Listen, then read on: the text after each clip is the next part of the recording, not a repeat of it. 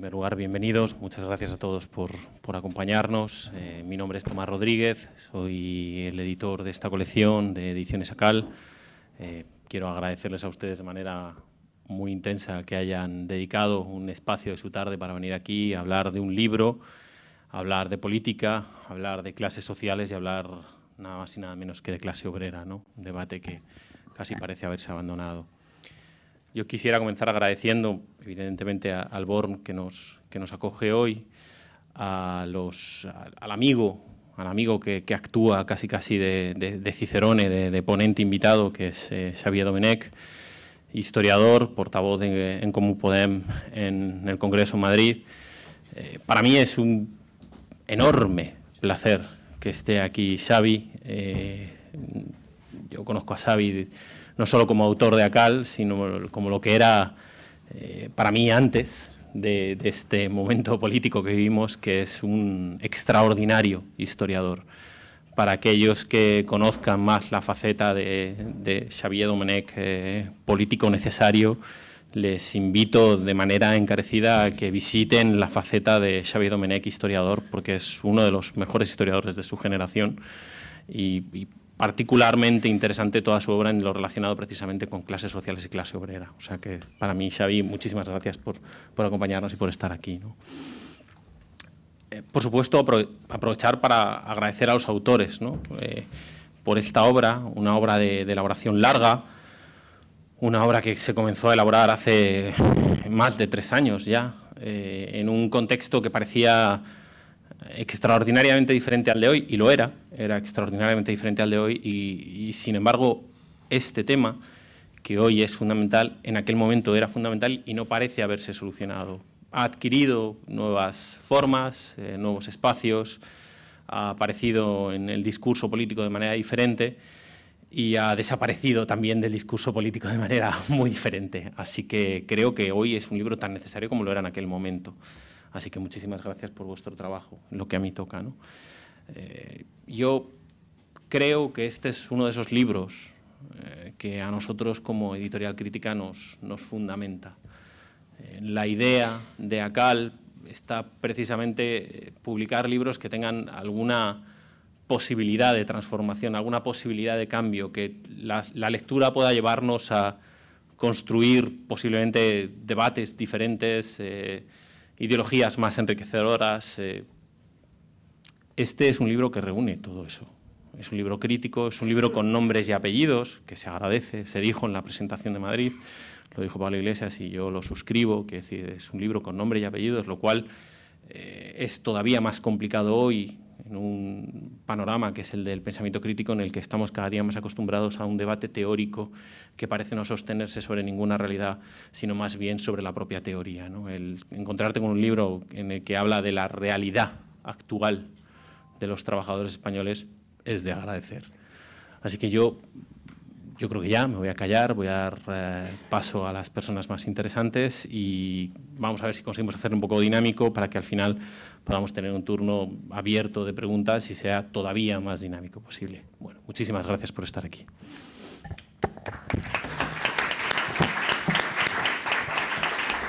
Pues paso la palabra a Arancha. Bueno, me toca otra vez empezar. Eh, muchas gracias a todas y a todos por estar aquí. Eh, ahora entiendo a Ismael Serrano cuando empezaba sus conciertos diciendo familiares y amigos, porque hoy siento que es un poco así, ¿no? Estoy rodeada de familiares y amigos. Moltes gràcies per ser aquí també. Uh, si no us fa la meva presentació en, en. Eh, bueno, hoy aprovechando que estamos en un anexo del BORN, que es un centro de cultura y de memoria, quisiera reivindicar esa memoria y recordar que este barrio, el barrio de la Ribera, aunque ahora lo vemos todo bonito, todo de diseño, todo impecable, pues hace no tanto tiempo era un barrio de trabajadores, un barrio que estaba considerado un barrio hasta cierto punto marginal por cierta gente. Sí, marginal, eh, marginal, marginado. Digo, marginal por cierta gente que estigmatiza los barrios, ¿no? Obviamente. Para nosotros, marginado, obviamente. Y, antes era algo más que, este barrio para el disfrute de turistas y de, paladares y varitas. Al lado de estos edificios maravillosos y estas tiendas carísimas y este entorno donde todo parece estar diseñado hasta el último detalle, eh, debemos tener en cuenta que la gente que vive aquí tiene una esperanza de vida muy inferior a la que puede tener una persona que ha nacido en un barrio como Sarriá. Y parece ser que en Barcelona no todos somos iguales, porque si naces en determinados barrios, pues tienes una esperanza de vida, y si naces en otros, puedes tener hasta nueve años de diferencia. Esta ciudad es paradójica porque som la millor del món, como decía la propaganda de anteriores consistorios, pero cada día más la clase trabajadora de esta ciudad pues, tiene vetado el acceso al consumo, que parece ser que es eh, la única vía para llegar a la ciudadanía en estos tiempos. Pero quizás, irónicamente, puedo decir que esto se solucione pronto, porque gracias, o por culpa más bien del proceso de gentrificación, que para quienes no estén familiarizados con este término académico, pues se trata de un proceso, lo voy a definir eh, de manera muy, muy sencilla, o sea, no es una definición académica. Tengo un amigo que es especialista en este tema que igual me escucha y se tira de los pelos, pero sería el desplazamiento de las poblaciones, los vecinos eh, con menos renta, generalmente gentes mayores que pagan alquileres eh, más bajos y demás de, zonas que son suculentas desde el punto de vista de la especulación inmobiliaria, que son desplazadas a otras partes de la ciudad o fuera de la ciudad para que las inmobiliarias y los empresarios puedan colocar ahí eh, sus negocios. ¿no? Pues gracias, como decía, o por culpa a este proceso de gentrificación en el que estamos viviendo, pues eh, quizás se solucione esta diferencia de la esperanza de vida, porque bueno, llegará un punto en que los trabajadores, inmigrantes, eh, no inmigrantes y demás que, quedan en barrios como este de Barcelona y como tantos otros, pues no podrán vivir en esta ciudad. Yo espero sinceramente que el nuevo ayuntamiento ponga manos en el asunto y me consta que hasta cierto punto lo está haciendo. Es cierto que Barcelona tiene fama de ser una ciudad muy burguesa. Eh, obviamente estamos en la cuna de la burguesía, en la Cataluña industrial y demás. La capital de todo eso es Barcelona pero también debemos recordar, aprovechando este ejercicio de memoria, que Barcelona es una ciudad que ha, dado, escrito grandes páginas en la lucha de la clase obrera. Aquí tuvimos incluso comités de defensa revolucionarios de barrio durante los años 30. Tuvimos en el año 51 una huelga de tranvías muy grande y de 1970 a 75 hubo más de mil huelgas y conflictos laborales. ¿no? Y cabe recordar que el franquismo, por mucho que haya una reescritura de la historia, no se derrocó, si se puede decir que se haya derrocado, que es algo que yo me pregunto ¿no? cuando veo ciertas cosas, pero no se derrocó necesariamente corriendo delante de los grises de la universidad, sino también desde las fábricas y desde las asociaciones de vecinos. ¿Y por qué hablo, perdón, de Barcelona? Eh, pues porque utilizo a Barcelona como una gran metáfora de cómo cierto reenclasamiento, una mejora económica coyuntural y relativa de las condiciones de vida ha generado cierta desmemoria que ha hecho mella en las conciencias obreras. Se ha perdido en muchos casos la conciencia de clase. Hoy asistimos a un doble proceso en el seno de la clase obrera. Por un lado tenemos sectores de la clase obrera que han olvidado pertenecer a nuestra clase por culpa pues, del papel de los medios de comunicación, de este mantra de que hoy en día todos somos clase media, que toda nuestra vida gira en torno al consumo, y bueno, pues son personas sensibles a los valores del sistema, el individualismo, el egoísmo, que se deslumbran con este mundo de fantasía que nos venden en la televisión y las mentiras que ofrece el capitalismo pues vía bombardeo cotidiano. Y en, este, en esta pérdida de conciencia creo que también la academia ha tenido bastante que ver, pero bueno, no voy a meter en ese tema. Y por el otro tenemos otros sectores de la clase obrera que sí tienen conciencia de clase, pero que están absolutamente marginados del mensaje público, o sea, no tienen acceso a los medios. Y dentro de este sector yo lo subdividiría en dos, ¿no? Uno sería los conscientes y movilizados políticamente, que bueno, correspondería a los militantes de toda la vida, que hay varios de ellos, que son la gente que, que, ya hizo el tránsito en términos clásicos, si me lo permiten, de clase en sí a clase para sí. Y luego eh, tenemos otro sector que son conscientes del lugar que ocupan en la jerarquía social, pero no lo tienen elaborado de manera teórica. ¿no? Es como una conciencia instintiva que muchas veces está vinculada a la pertenencia a un barrio, o sea, es un orgullo de, de barrio que puedes derivar en un orgullo de clase, pero no necesariamente. Creo que se trata de politizar y dar, llenar contenido, darle contenido a ese orgullo.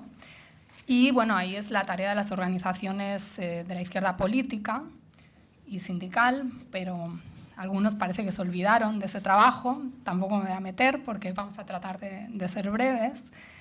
Y nosotros pues queremos eh, reivindicar nuestro libro como una herramienta para esa politización, para ese llenar de contenido, para aumentar la conciencia de clase, para recuperar nuestra memoria también como clase que está ignorada por todos estos creadores de opinión en los medios, en la cultura, el cine, en la academia, como explicamos ahí en el libro. Sigo y, trato de concluir eh, con un dato también demoledor, más allá del de la esperanza de vida, la diferente esperanza de vida entre barrios en esta ciudad, por ejemplo, estaba leyendo el otro día que el 50% de los habitantes del distrito de Sarriá San Gervasi tienen títulos universitarios y en el caso del distrito de Nou Barris no llega ni al 10% esta cifra. ¿no? Entonces, eh, el promedio de Barcelona creo que está en torno al 30%. Y bueno, mm, pensar que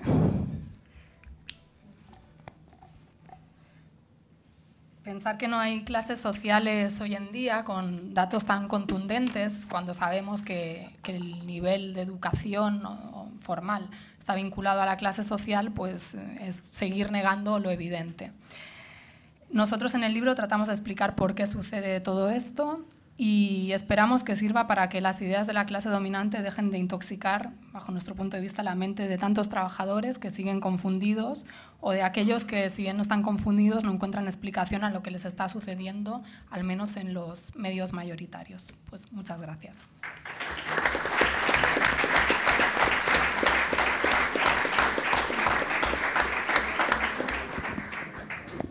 Bueno.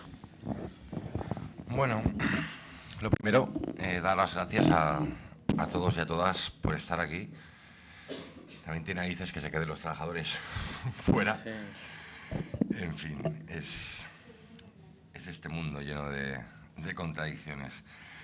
Bueno, eh, en las últimas décadas hemos visto cómo la clase trabajadora desaparecía del, del debate político y sobre todo del debate académico. ¿no? El antaño sujeto histórico destinado a a saltar los cielos, pues se había esfumado del mapa la deslocalización, las fábricas que se llevan a China o a México, el auge del sector servicios, la caída del muro de Berlín también influenció. Todos estos elementos pues habían construido un relato en el que los obreros y obreras pues sencillamente habían desaparecido. Lo que es peor, eh, los obreros habían sido sustituidos por el precariado, el cognitariado, los migrantes, el multiculturalismo y, en definitiva, toda una serie de, neologismos y nuevas palabras que, bajo nuestro punto de vista, escriben muchas tesis, pero quizá no describen la realidad social tan bien como, como algunos piensan. ¿no? Pero ¿sabéis qué ocurre? Que la clase obrera es como Skynet, como Terminator, como decíamos en Madrid, y siempre vuelve. Y además puede volver para darte un tortazo si vas de graciosillo en YouTube. No es. Había, que meterlo. Como fuera, decía un amigo que el tortazo este era la definición gráfica del choque entre el Fordismo y el porfordismo, ¿no? El, obrero uniformado que le pega una torta a un youtuber, ¿no? Que es el mundo este digital y creo que, que, tiene toda la razón. No, la clase obrera eh, siempre vuelve, ¿no? Eh, así cuando Donald Trump gana las elecciones lo hace gracias a la clase obrera blanca Además, y cuando el Frente Nacional amenaza con hacerse con el poder en Francia, es gracias a la clase obrera francesa. Y el mismo que nos habla de precariado nos dice que en los barrios obreros se vota Le Pen. ¿no? De repente vuelve a haber obreros y de repente vuelve a haber barrios obreros. Y, y esto nos atañe, a ver qué os parece, cuando Ciudadanos obtiene un respaldo importante en el cinturón rojo de Barcelona, es por culpa de la clase obrera, que es muy charnega, muy analfabeta y, muy española. Esto debería hacernos reflexionar un poco a todos, ¿no? Eh, igual los analfabetos somos nosotros, somos la academia, somos la izquierda, o somos toda esta, toda esta historia. Por eso eh, esta resurrección ¿no? de la clase obrera, la clase obrera siempre reaparece cuando, cuando hay que justificar algún, alguna tragedia, ¿no? como es el auge de Trump o, o Le Pen eh, debería hacernos reflexionar en, dos sentidos, en dos direcciones. Por un lado, se pone de manifiesto que la clase obrera hoy existe, existe, lo primero, y que, y que es más antisistema eh, de lo que mucha gente piensa. ¿no? Creo que la clase obrera hoy día es muy permeable a lo, a lo políticamente incorrecto, a los discursos incendiarios, a esos discursos anti-establishment, a los outsiders, eh, y creo que esto viene muy al hilo ¿no? con el actual debate o discusión que hay en, en Podemos. ¿no? A veces se nos olvida que la clase obrera es la clase más, más castigada por la crisis y que está muy harta y que pide soluciones radicales. Por otra parte, la otra dirección eh, se nos demuestra o se nos pone de manifiesto que la ausencia de un empleo fijo o estable no borra esa, esa conciencia esa obrera.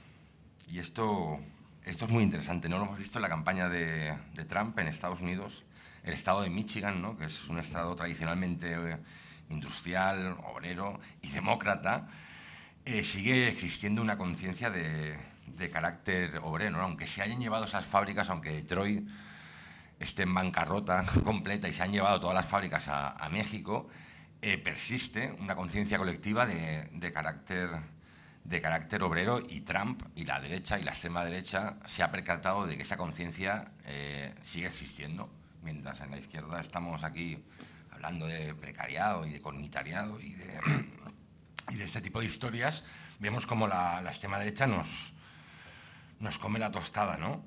Y bueno, creo que en la izquierda hemos sido siempre muy, muy divos y muy divinos. Y vemos como, como la, extrema derecha nos come la tostada. El último ejemplo es el de, Austria, el otro día, cuando casi gana el nazi este, ¿no? Pues no sé dónde leí también, que era porque las, las, las zonas industriales la clase obrera había votado al nazi este. Es como, joder, otra vez vuelve la clase obrera para, para justificar alguna, alguna desgracia. Y yo creo que, más allá de si existe fábrica o no, eh, la, esa conciencia obrera trasciende, trasciende el empleo, trasciende si hay fábrica o no. Un ejemplo muy básico, ¿no? El otro día en Madrid lo comentamos, el ejemplo de Vallecas, aquí serviría tu barrio. Carmelo. El Carmelo. Eh, son barrios que nadie discute que sean barrios obreros eh, o con conciencia obrera, pero ¿por qué? Porque están llenos de fábricas con obreros vestidos de azul en, en hileras, no ¿no? porque, porque existe esa, esa conciencia que, bueno, podemos llamarla conciencia, podemos hablar de un hilo rojo que se transmite de, padres e hijos y hace que exista esa conciencia obrera más allá de si existe la, la, fábrica o no. El problema es, a, nuestro, a nuestra forma de entenderlo, es que para muchos académicos actuales la clase obrera sigue siendo un señor de 50 años con un mono azul que, que fuma educados. Y la verdad es que así no, no se puede. Para terminar, no, me gustaría terminar añadiendo una, una cuestión, una cuestión que, que, debatimos en el, bueno, que planteamos en el libro, que es la cuestión de la paridad obrera en los partidos de izquierdas, hoy que tenemos a un representante de... Y no, es interesante, es interesante. En el libro planteamos que haya una cuota reservada a miembros de la clase obrera en partidos de, de izquierdas. Vimos en las primarias de Madrid, las encarnizadas primarias de Madrid en Podemos, a las candidaturas eh, peleándose por feminizar la política, que pensamos que está muy bien, o vemos como en otras candidaturas de izquierdas se presume de tener entre sus filas a candidatas de etnia gitana, ¿no? que también está muy bien. ¿Por qué estamos locos por pedir eh, cuotas para, para miembros de la clase obrera? ¿no? Nosotros no queremos que, que sea algo polémico, queremos que que sería algo súper súper razonable. Y bueno, para terminar ya, eh, yo pienso que existe un, un, triángulo que es la clase obrera, el pueblo y la izquierda, y creo que para vencer ese triángulo tiene que ser equilátero.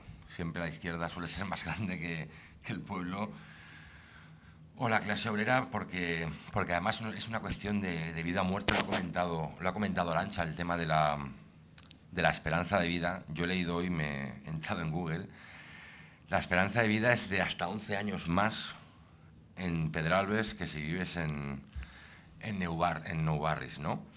Y... Eso era 2015, esto igual. Bueno, igual aumentado, claro. No, y, y, y, es una cuestión de vida o muerte y enlaza con lo de la señora en Reus, que pierde la vida porque, tiene que, porque gas natural le corta el suministro y tiene que iluminarse con una vela. Creo que esto de la esperanza de vida es mucho más grave, ¿no? Porque, porque lo de la señora Enreus es tomándose una serie de medidas de choque se puede, se puede atajar, ¿no? Si se pone voluntad política, pues se toma una serie de medidas de, urgencia o de choque y bueno, pues no se va a cortar la luz a, a nadie. Pero lo de la esperanza de vida es, es mucho más grave, es casi un genocidio social, porque aunque mañana llegara Podemos, o mañana eh, en Común Podem pudiera, bueno, se pueden tomar una serie de medidas de choque, pero eso de la esperanza de vida no se puede acortar, así como así con dos medidas, o con, aunque nacionalizáramos Iberdrola y Endesa. Eso pasa ya eh, de generación en generación. O sea, mis padres, aunque mañana llegara Podemos, van a morir diez años antes por la vida que han llevado que los padres de la misma edad que nacen en, en Pedralbes. Y, creo que se puede hablar en términos de genocidio social, porque cuántos años, aunque mañana llegáramos al poder, en, un planteamiento muy optimista, porque viendo la situación como está, si llegáramos mañana al poder y una serie de medidas de corte social, de cuántos años tendrían que pasar para que se corrigiera esa, esas desigualdades en, esperanza de vida. Eh, nada más, creo que es un verdadero genocidio social, así que apoyos, muchas gracias.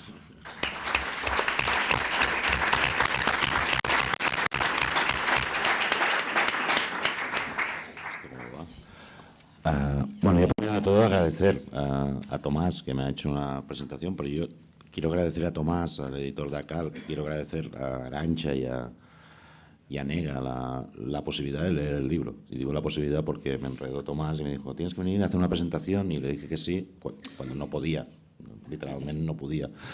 Pero, uh, pero eh, le dije que sí básicamente porque es la única posibilidad que tengo de leer libros. Y entonces me obliga, a, me, lo, me, lo, llevaste, me lo trajisteis corriendo con mensajero y me lo, me lo he leído estos días, que han sido días intensos también por otras cosas.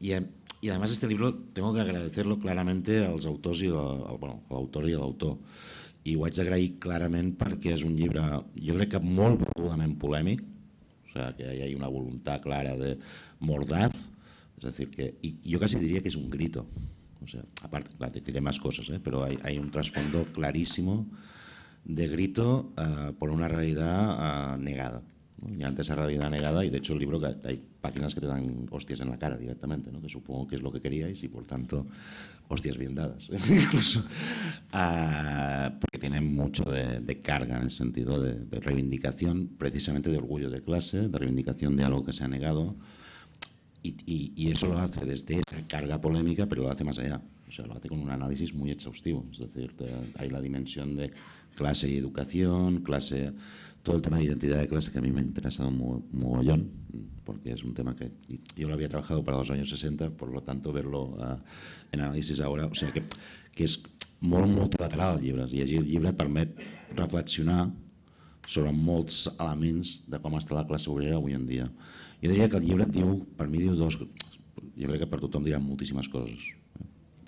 Per mi les dues grans coses, una és clarament és l'afirmació contundent de que existeix, existeixen les classes i que no només existeixen les classes, sinó que la realitat de classe impregna tota la resta de realitats. És a dir, i això jo crec que és molt evident perquè moltes vegades reivindiquem en el llibre també surt una frase que, eh, que hem utilitzat 30.000 vegades perquè ens agrada que l'enemic ens digui allò que volem sentir. No? És a dir, quan Warren Buffett, que en aquells moments era no sé si la segunda fortuna del mundo o la tercera, ahora es la quinta, ¿eh? ha ido un poco mal, pero bueno, en ese momento que era la segunda o la tercera, pues, por honesto le fue mal, tiene, grandes, este tío tiene grandes frases, porque también una vez, eh, eh, casi riéndose del sistema fiscal de Estados Unidos, eh, le dijo al presidente Obama, le dijo que sí que podían subir impuestos a los ricos, porque él pagaba menos impuestos que su asistenta personal. Lo cual es increíble, porque siendo claramente, ¿no? Però va, va dir aquella frase de, evidentemente que existe, le hicieron una pregunta, si existeixen les, les classes socials, i no, no, evidentment que existeixen les classes socials i la lluita de classes, i somos nosotros, la clase de los ricos, los poderosos, el capitalismo financiero, la que la estamos ganando. No? És a dir, i, i a tots, jo crec que el Vicenç Navarro ha utilitzat aquesta cita 30.000 vegades. Jo també l'he utilitzat moltes vegades, i clar, perquè dius, és tan evident que existeixen, Però no només fa falta que ens ho digui Warren Buffett, és a dir, és que és el que diuen ells, és, dir, és, és la pròpia configuració de la ciutat. La configuració de la ciutat, tots els indicadors, però no només els indicadors, són les vivències, és l'experiència de classe que impregna cada moment de les nostres vides, és a dir, i que la reacció que estem vivint en aquests moments eh, és una reacció claríssimament de classe claríssimament de classe. Jo, jo això ho tinc molt clar. Jo, jo no, no reivindicaré que pertanyo a la classe obrera perquè no en tinc ni idea, però jo tinc molt clar quan va començar la crisi és una cosa que per mi era absolutament bàsica. En la universitat actual jo no hauria pogut estudiar. És a dir, perquè jo per estudiar tenia que treballar. En la universitat actual jo no hauria pogut fer el doctorat, que el vaig poder fer també perquè treballava i feia el doctorat. I a la universitat actual jo no hagués estat profe d'aquella universitat. És a dir, per tant, eh, hi ha un sistema d'exclusió eh, que es va construir un poc a poc i que cada un es va justificant en el seu moment, però que al final acaba generant les realitats que, que acaba generant. Totes formes, sí que us, us un parell de coses. Primer, us, eh, el tema amb l'acadèmia, us nota l'emprenyada del cabreo con l'acadèmia brutal, porque hay páginas ahí, venga, vamos a es un panda de, de tal. Yo, mi experiencia como, como, como he vivido la academia, también lo quería decir. Al final es, es algo con lo que siempre pierdes. Y voy a decirlo por lo siguiente. Yo me pasé años en historia social luchando contra el giro lingüístico. ¿no? El giro lingüístico en historia social afirmaba que la clase no existía como realidad material, sino que era una producción puramente lingüística. Es decir, que eh, generando discursos había generado una cosa que se llamaba clase, pero que eso no tenía que, nada que ver con, la correspondencia con la realidad. No sabemos por qué nació la idea de clase obrera en Gran Bretaña a la parte de la industrialización, porque no tiene nada que ver. O sea, no, las fábricas, los barrios, todo eso no tiene nada que ver. Y todos estos años luchando teóricamente, ¿no? Y dices, wow, no, tal, tal. Cuando al final solo salir a la calle. Pero bueno, vamos a luchar teóricamente. Y ahora, ya cuando lo dejé, ahora se me habían pasado todos al giro material. Y me vienen a explicar que lo importante... I, bueno, per què? Perquè la crisi econòmica havia fet tan evident que el discurs diguem, de l'economia política marxista era cert, havia fet tan evident allò que bueno, pues vamos a cambiar de discurs en els màsters. ¿sí? Ho dic perquè a vegades és una pelea que, que sempre yo diría que siempre ganan, porque, es, es, porque tiene que ver más a veces con, mantener el estatus y sobrevivir en cualquier situación. Yo creo que se podría hacer una revolución de carácter soviético y los catedráticos seguirían ahí. Te lo digo porque está bien, pero yo no le dedicaría muchas páginas porque eso es, no sé por qué, es un combate que no, que no, no consigues. Te harían un libro revolucionario y, y cap problema. Ese es, el, ese es el título del libro. por eso que... No, no, no, porque yo lo leía y sí, sí, sí, però esto està un poco... I que, que a més a més que finalment, amb tot el dia, han fracassat. O sigui, el seu fracàs és absolut. És a dir, jo, clar, vivint tots els discursos teòrics que s'han fet, això que dieu vosaltres, tot el tema de la postmodernitat, el gir lingüístic, la negació de la classe, bueno, però en tots els camps. Jo encara me'n recordo als anys 90 quan es parlava de la nova economia. La nova economia era, era una segons la qual no hi hauria mai més crisis. I això es deia amb una impunitat absoluta a les universitats i per això els economistes d'ara no en tenien res del que passava, perquè clar, els havien explicat que això no podia passar. No? És a dir, i, i el fracàs, o sigui, hi ha molts fracassos, hi ha fracassos evidentment polítics, hi ha fracassos organitzatius, hi ha fracassos, però hi ha un fracàs que és acadèmic, és que no ho paguen, és que és això, és que, que no... Tal. I després, jo crec que hi ha aquesta, i que el llibre explica magníficament eh, aquesta impregnació de classe, com la classe ho impregna tot, i després hi ha una hipòtesi que és la hipòtesi de l'expressió de les mobilitzacions que hi ha hagut en aquests últims anys ha sigut una expressió de classe mitja no de classe obrera. No? I que eh, d'alguna manera la, la classe obrera ha estat absent d'això. Fas que marqueu com dos fases, no? perquè dieu una primera fase 15M, clarament més classe mitja, o com a mínim autoidentificada com a classe mitja, i una segona fase que ja parleu de les mobilitzacions a València, de la PA, de, de tot això, ja hi ha una expressió de lluita que va més enllà. Jo fins i tot, però jo ho dic per l'experiència que vaig viure jo, eh? i aquí no, i és purament experiencial, jo fins i tot ho veig una miqueta barrejat, perquè jo me'n recordo el 15M... A, a... O sigui, és, és evident que quan, quan el 15M esclata té un discurs molt masocràtic, molt de classe mitja. Jo me'n recordo un debat amb un dels manifestos que s'havien de fer que es tornava a sortir aquest discurs masocràtic, ¿no? és a dir, la joventut més preparada de la història, que tiene, no sé, quatre màsters, sabe seis idiomes, eh, tal, la gran injusticia que s'ha hecho con ella. Yo me acuerdo, me recuerdo el debat perfectament, de decir, hombre, yo no lo pondría. Porque eh, de hecho hay algo de justicia divina en eso. Es decir, que con todo lo que está sufriendo toda la población y la clase obrera, que al final digas, pues mira, el que tiene seis másteres, siete idiomas y se ha pagado todo esto, también sufra, pues igual... o sea que hay, algo como de, igualación. Por tanto, yo este discurso no lo haría tanto. Uh, però, havent dit això, també hi havia altres coses. Jo crec, per exemple, uh, aquí hi havia tota l'experiència prèvia del que estat l'Assemblea de Barcelona, els comitès de barri, i el 15M aquí es nodreix d'això, l'assemblea la, la, de barri de nou barris, l'assemblea de barri de tal que que don. I hi ha un altre element, però aquest és purament, i ho comento per coses que m'he llegit al llibre, eh? en el fons, en el 15M, no sé si el 15M pròpiament, però hi ha un moment del 15M que apareix una gran paradoxa per mi, que és aquella frase de no somos ni de izquierdas ni de derechas, somos los de abajo que vamos a por los de arriba. Mm. Perquè allà tota la gent d'esquerres, hòstia, Llavors, esto lo decía José Antonio Primo de Rivera, esto es falangismo, esto tal, esto no sé qué, esto... Sí, sí, la reacció des de la identitat, no? Això, això no som ni izquierdas ni derechas. També ho deien els sindicalistes revolucionaris i els anarquistes en algun moment, eh? vull dir que això és una barreja, és molt d'època això, d'una època en la qual no hi ha massa certeses i llavors no... Però deia, no somos ni izquierdas ni derechas, somos los de abajo que vamos a por los de arriba. Los de abajo que vamos por los de arriba és un discurs de conflicte social claríssim de classe. Los de abajo, para aquí, vamos hacia donde hacia los de arriba. I probablement el que havia passat, és una cosa que vosaltres critiqueu molt al llibre, és que les esquerres havien oblidat tant, o almenys les esquerres que tenien capacitat de transmissió global, havien oblidat tant el conflicte de classes que va un moment que quan es va reivindicar aquest conflicte de classes sense dir-li si vols, los de abajo per los de arriba, sense dir-li classe, es va fer fins i tot com una impugnació a les esquerres. I, i jo crec que aquell moment hi ha un moment de, de, de reivindicació de classe també, en allò. hi ha un principi nou a tot això. Uh, però bueno, no m'enrotllo uh, massa més perquè el llibre crec que té, uh, té moltes dimensions i que sobre, sobretot, sobretot és un llibre uh, absolutament necessari. Partim un debat, un debat que és el, el debat, bueno, primer per, per, per mostrar una evidència, que és l'existència de la impregnació de classe, i després el debat que jo crec que és el debat de fons, és a dir, com partim d'aquesta realitat, que existeixen classes, i la convertim en acció política. És a dir, com partim d'això per poder anar un pas eh, més enllà. I aquí hi ha un, en el llibre al final hi ha una reflexió de com Podemos després d'aquest fenomen, no? però ara diré una cosa que, que no hauria de dir, però jo crec que l'ha expressa per falta d'altres coses. És a dir, finalment l'opció que dieu vosaltres de votar, no? es la opció final de dir mm, pues vamos a votar masivamente algo que no cambie todo.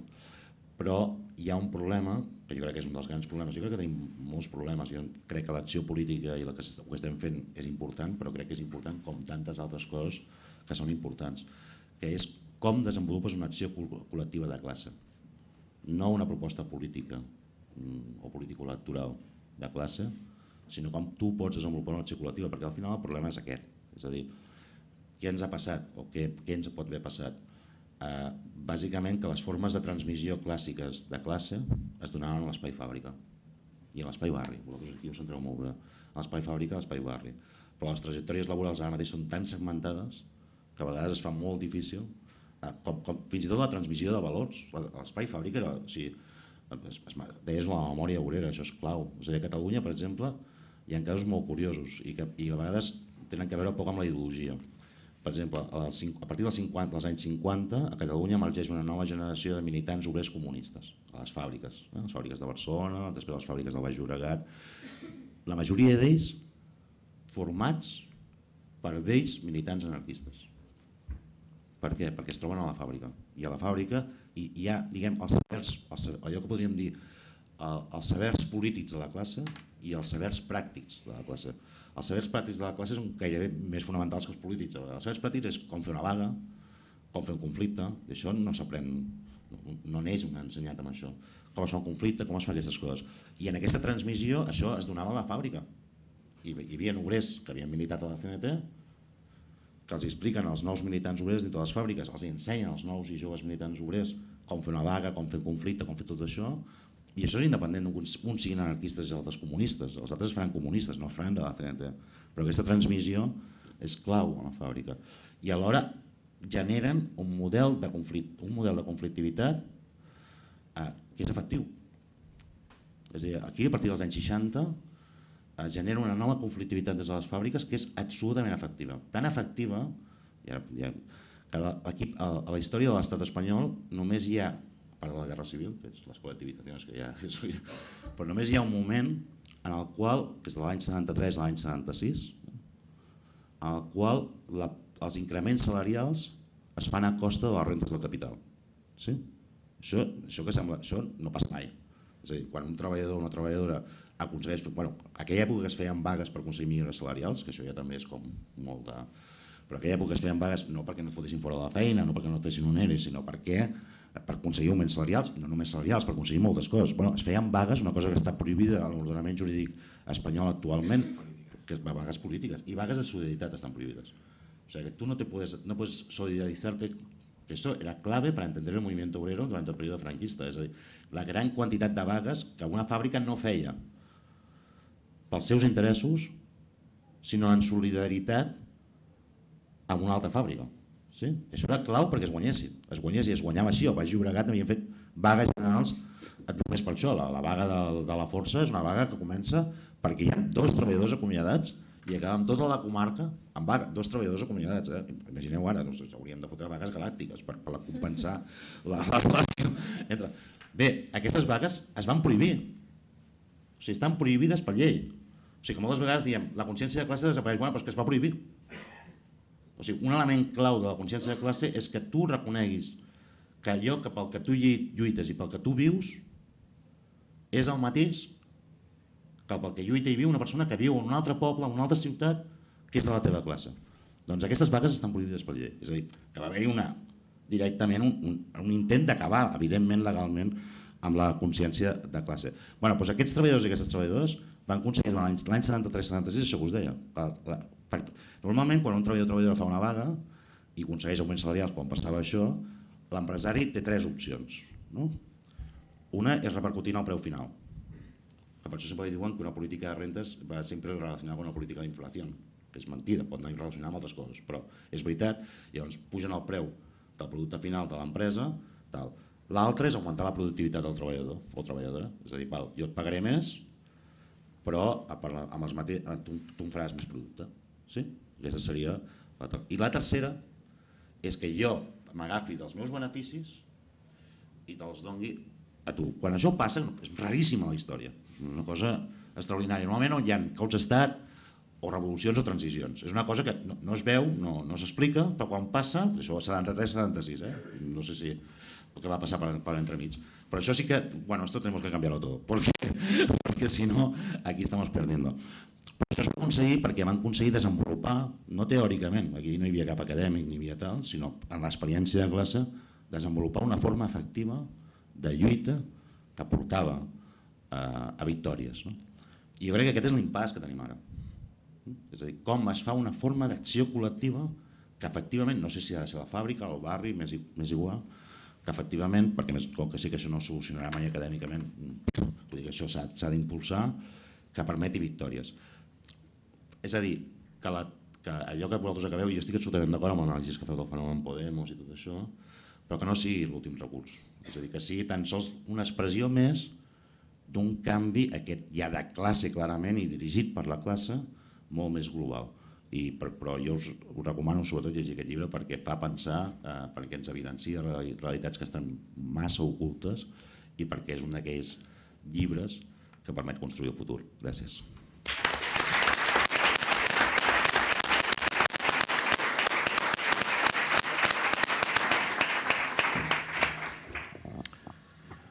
Pues la verdad es que vamos muy bien de tiempo.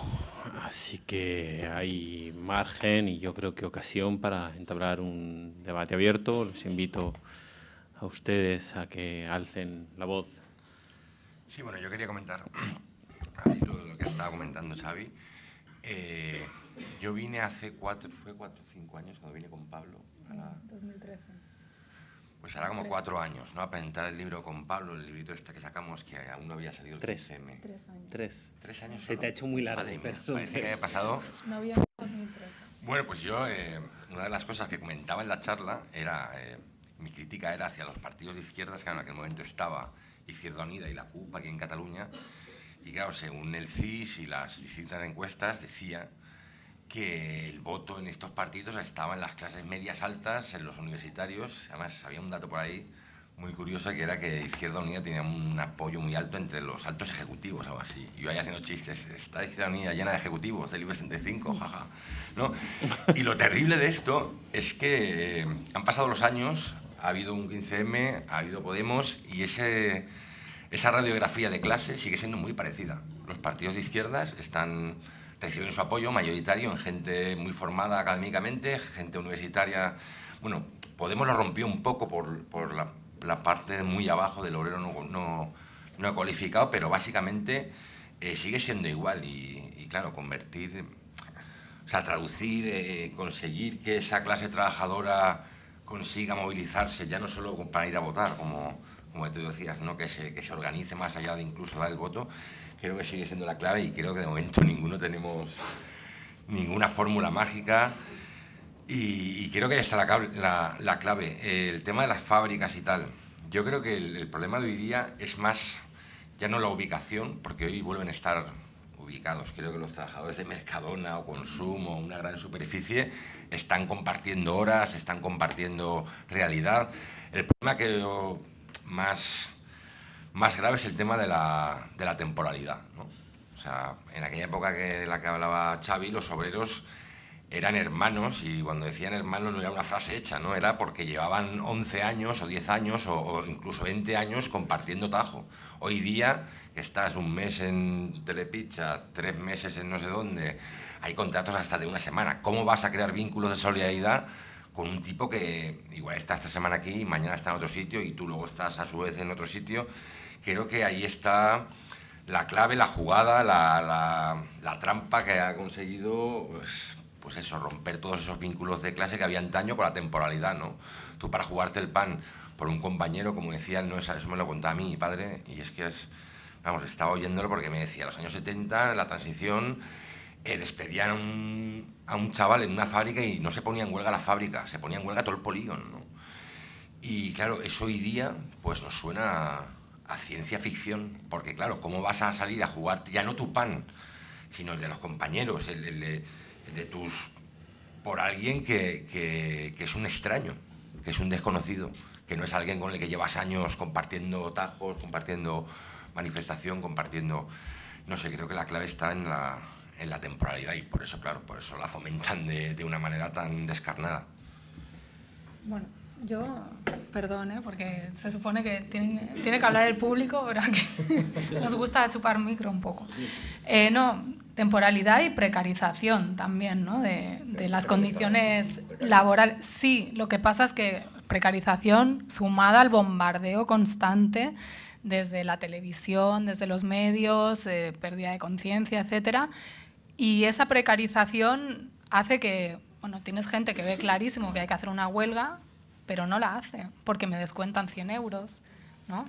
O sea, porque a lo mejor una huelga general no es ni siquiera para luchar por tu compañero de al lado, es una huelga general es algo más amplio, ¿no? O sea, que es responder a un ataque que parece evidente, que es nivel macro, y ni siquiera para eso, a pesar de, de ser conscientes de que hace falta hacer una huelga general. Entonces la gente piensa, no, claro, pero... Y luego está todo este chantaje de la familia tradicional, es una interpretación mía, que eso no está en el libro, que, que nos han vendido la moto de que hay, para ser buen padre y buena madre lo primero que tienes que hacer en la es preocuparte de, de tus hijos y todo lo demás no importa. Entonces, bueno, no sé, decía Martí que el que tiene un hijo tiene todos los hijos del mundo. O sea, si solo luchas por tu hijo, pues mañana no te extrañe que el resto eh, no tenga nada para comer, incluso tu hijo, ¿no? Entonces hay un poco, que, uy, me voy a comer el micro, que ampliar eh, la perspectiva y, y, bueno, es muy difícil, ya no voy a hablar. Sí, sí. sí bueno.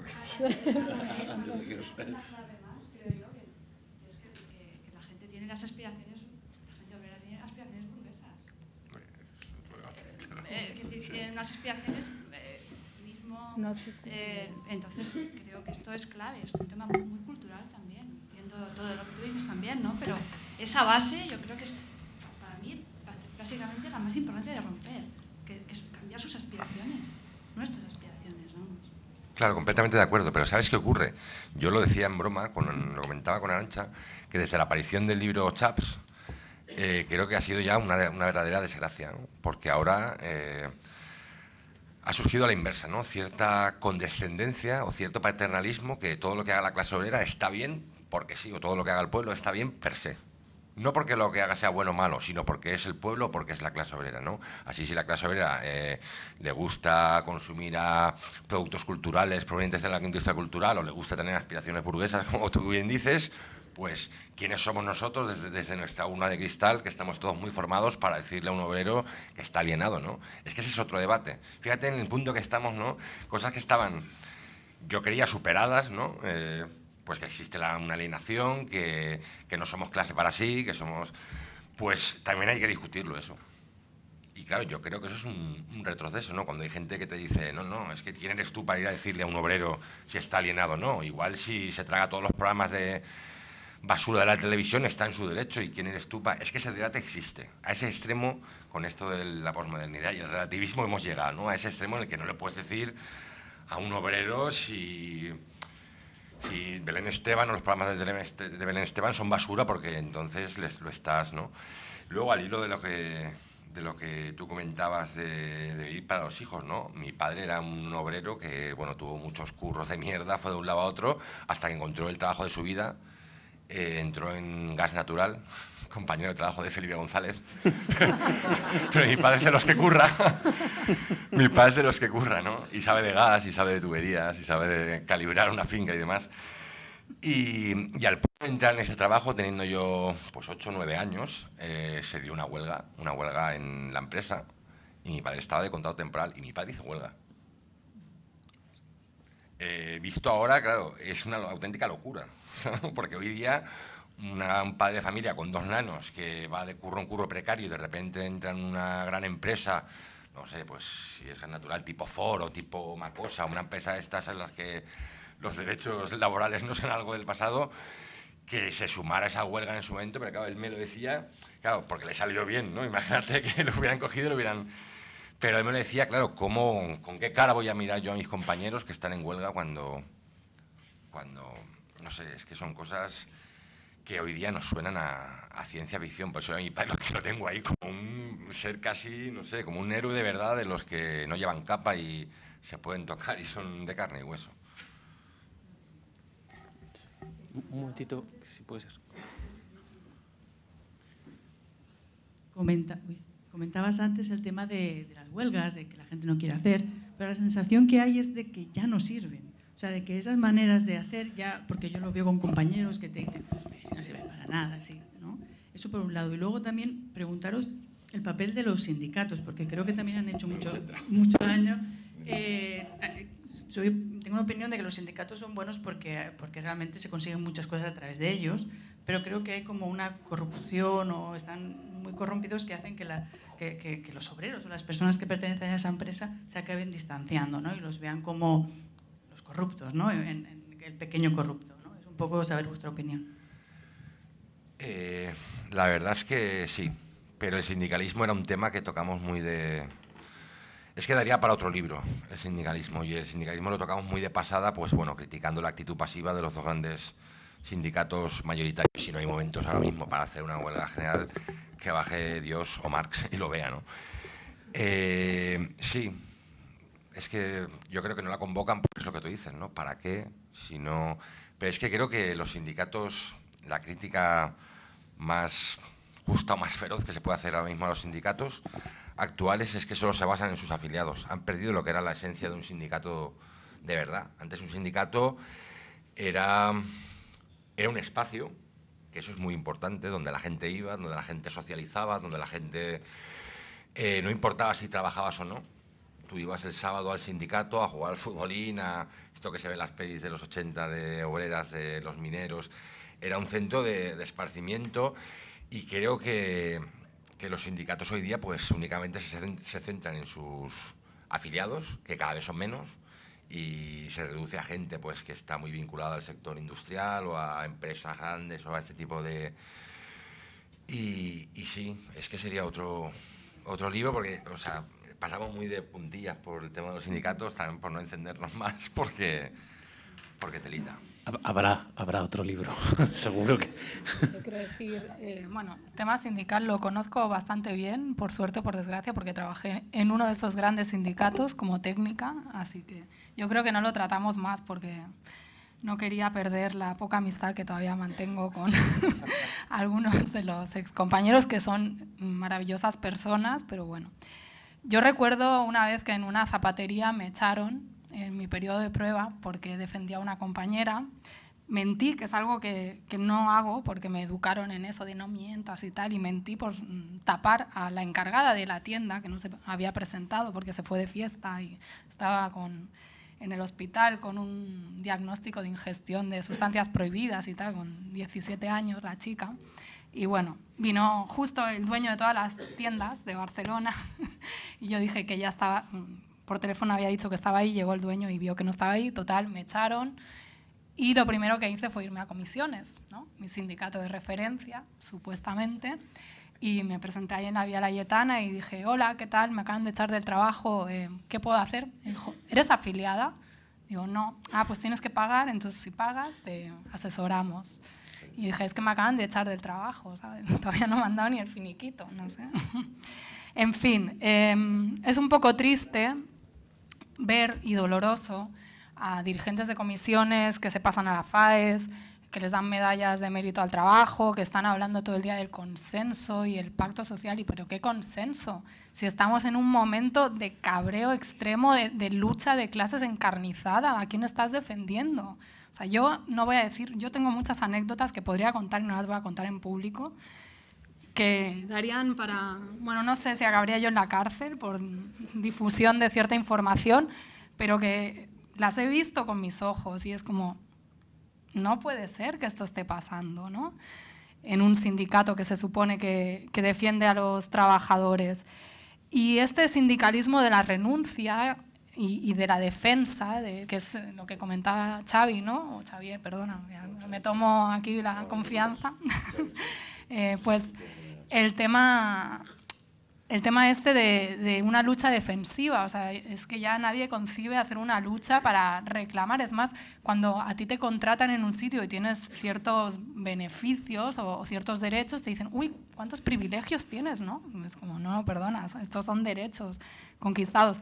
Pero creo que la función sindical es imprescindible, más necesaria que nunca, y no olvidar que también hay otros sindicatos que no son los mayoritarios, que, que tienen fuerza y tienen cada vez más presencia además de los sindicatos corporativos, ¿no? que surgen precisamente por este descrédito, que son los sindicatos de los enfermeros, los sindicatos de no sé qué. Pero sí hay sindicalismo de clase, no mayoritario, pero sí muy combativo y que no, no quiero decir que esa sea la esperanza, porque a mí me parece que, que en comisiones y en un GT hay gente muy luchadora y hay gente que realmente se cree su, su ejercicio sindical, pero bueno, son instituciones complejas.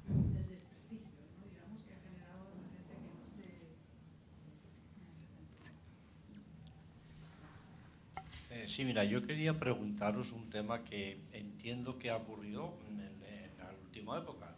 El tema del miedo, el miedo que han transmitido a, todo el mundo, con perder tu empleo, con perder tu bienestar eh, social, y que eso creo que pesa mucho a la hora de que nadie se atreve a Aquí todos callados, eh, no te metas con el jefe, con nadie, porque es que, es que vas a la calle. Mm, ¿Habéis hablado en el libro algo de, de este miedo, de, quisiera decir incluso pánico en la población, en el, en el asalariado, evidentemente. Sí, lo comentamos, ¿no? Se comenta. Sí, claro que hay, claro que hay miedo. Es que a diferencia de cuando Marx dijo los obreros no tienen nada que perder salvo sus cadenas, hoy creo que sí que tienen alguna cosa que otra que perder.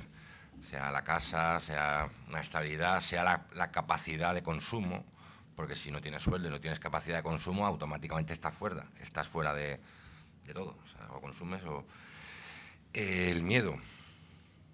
Es, es complicado, porque lo que comentamos antes, ella decía que ahora hay mucha precariedad, o sea, cuando mi abuela fregaba escaleras, no te puedes imaginar las condiciones laborales que había, desde a bueno, no quiero ni pensarlo, desde abusos en la casa por parte del señorito, a la, a niña que le ponían un taburete para que llegara la pila para fregar, hasta ausencia de contratos, de derechos, de... En esa misma época, eh, si unos obreros se manifestaban, iba la Guardia Civil y les abría la cabeza con un sable, o directamente disparaban con munición real, ¿no? Y pese a ello salían a la calle. Es decir, el miedo operado, o sea, claro que tendrían miedo, claro que había un miedo a, a morir en una manifestación baleado o a que te encerraran. O, joder, no hace, hace falta remontarse a los años 20 o 30. Eh, mi padre, en la época nuestros padres, en la época de la transición, sabía que militar en comisiones o, o ir a una mani o a un... Te jugabas la, la- tu libertad, como el ir a la cárcel, y ahí estaban.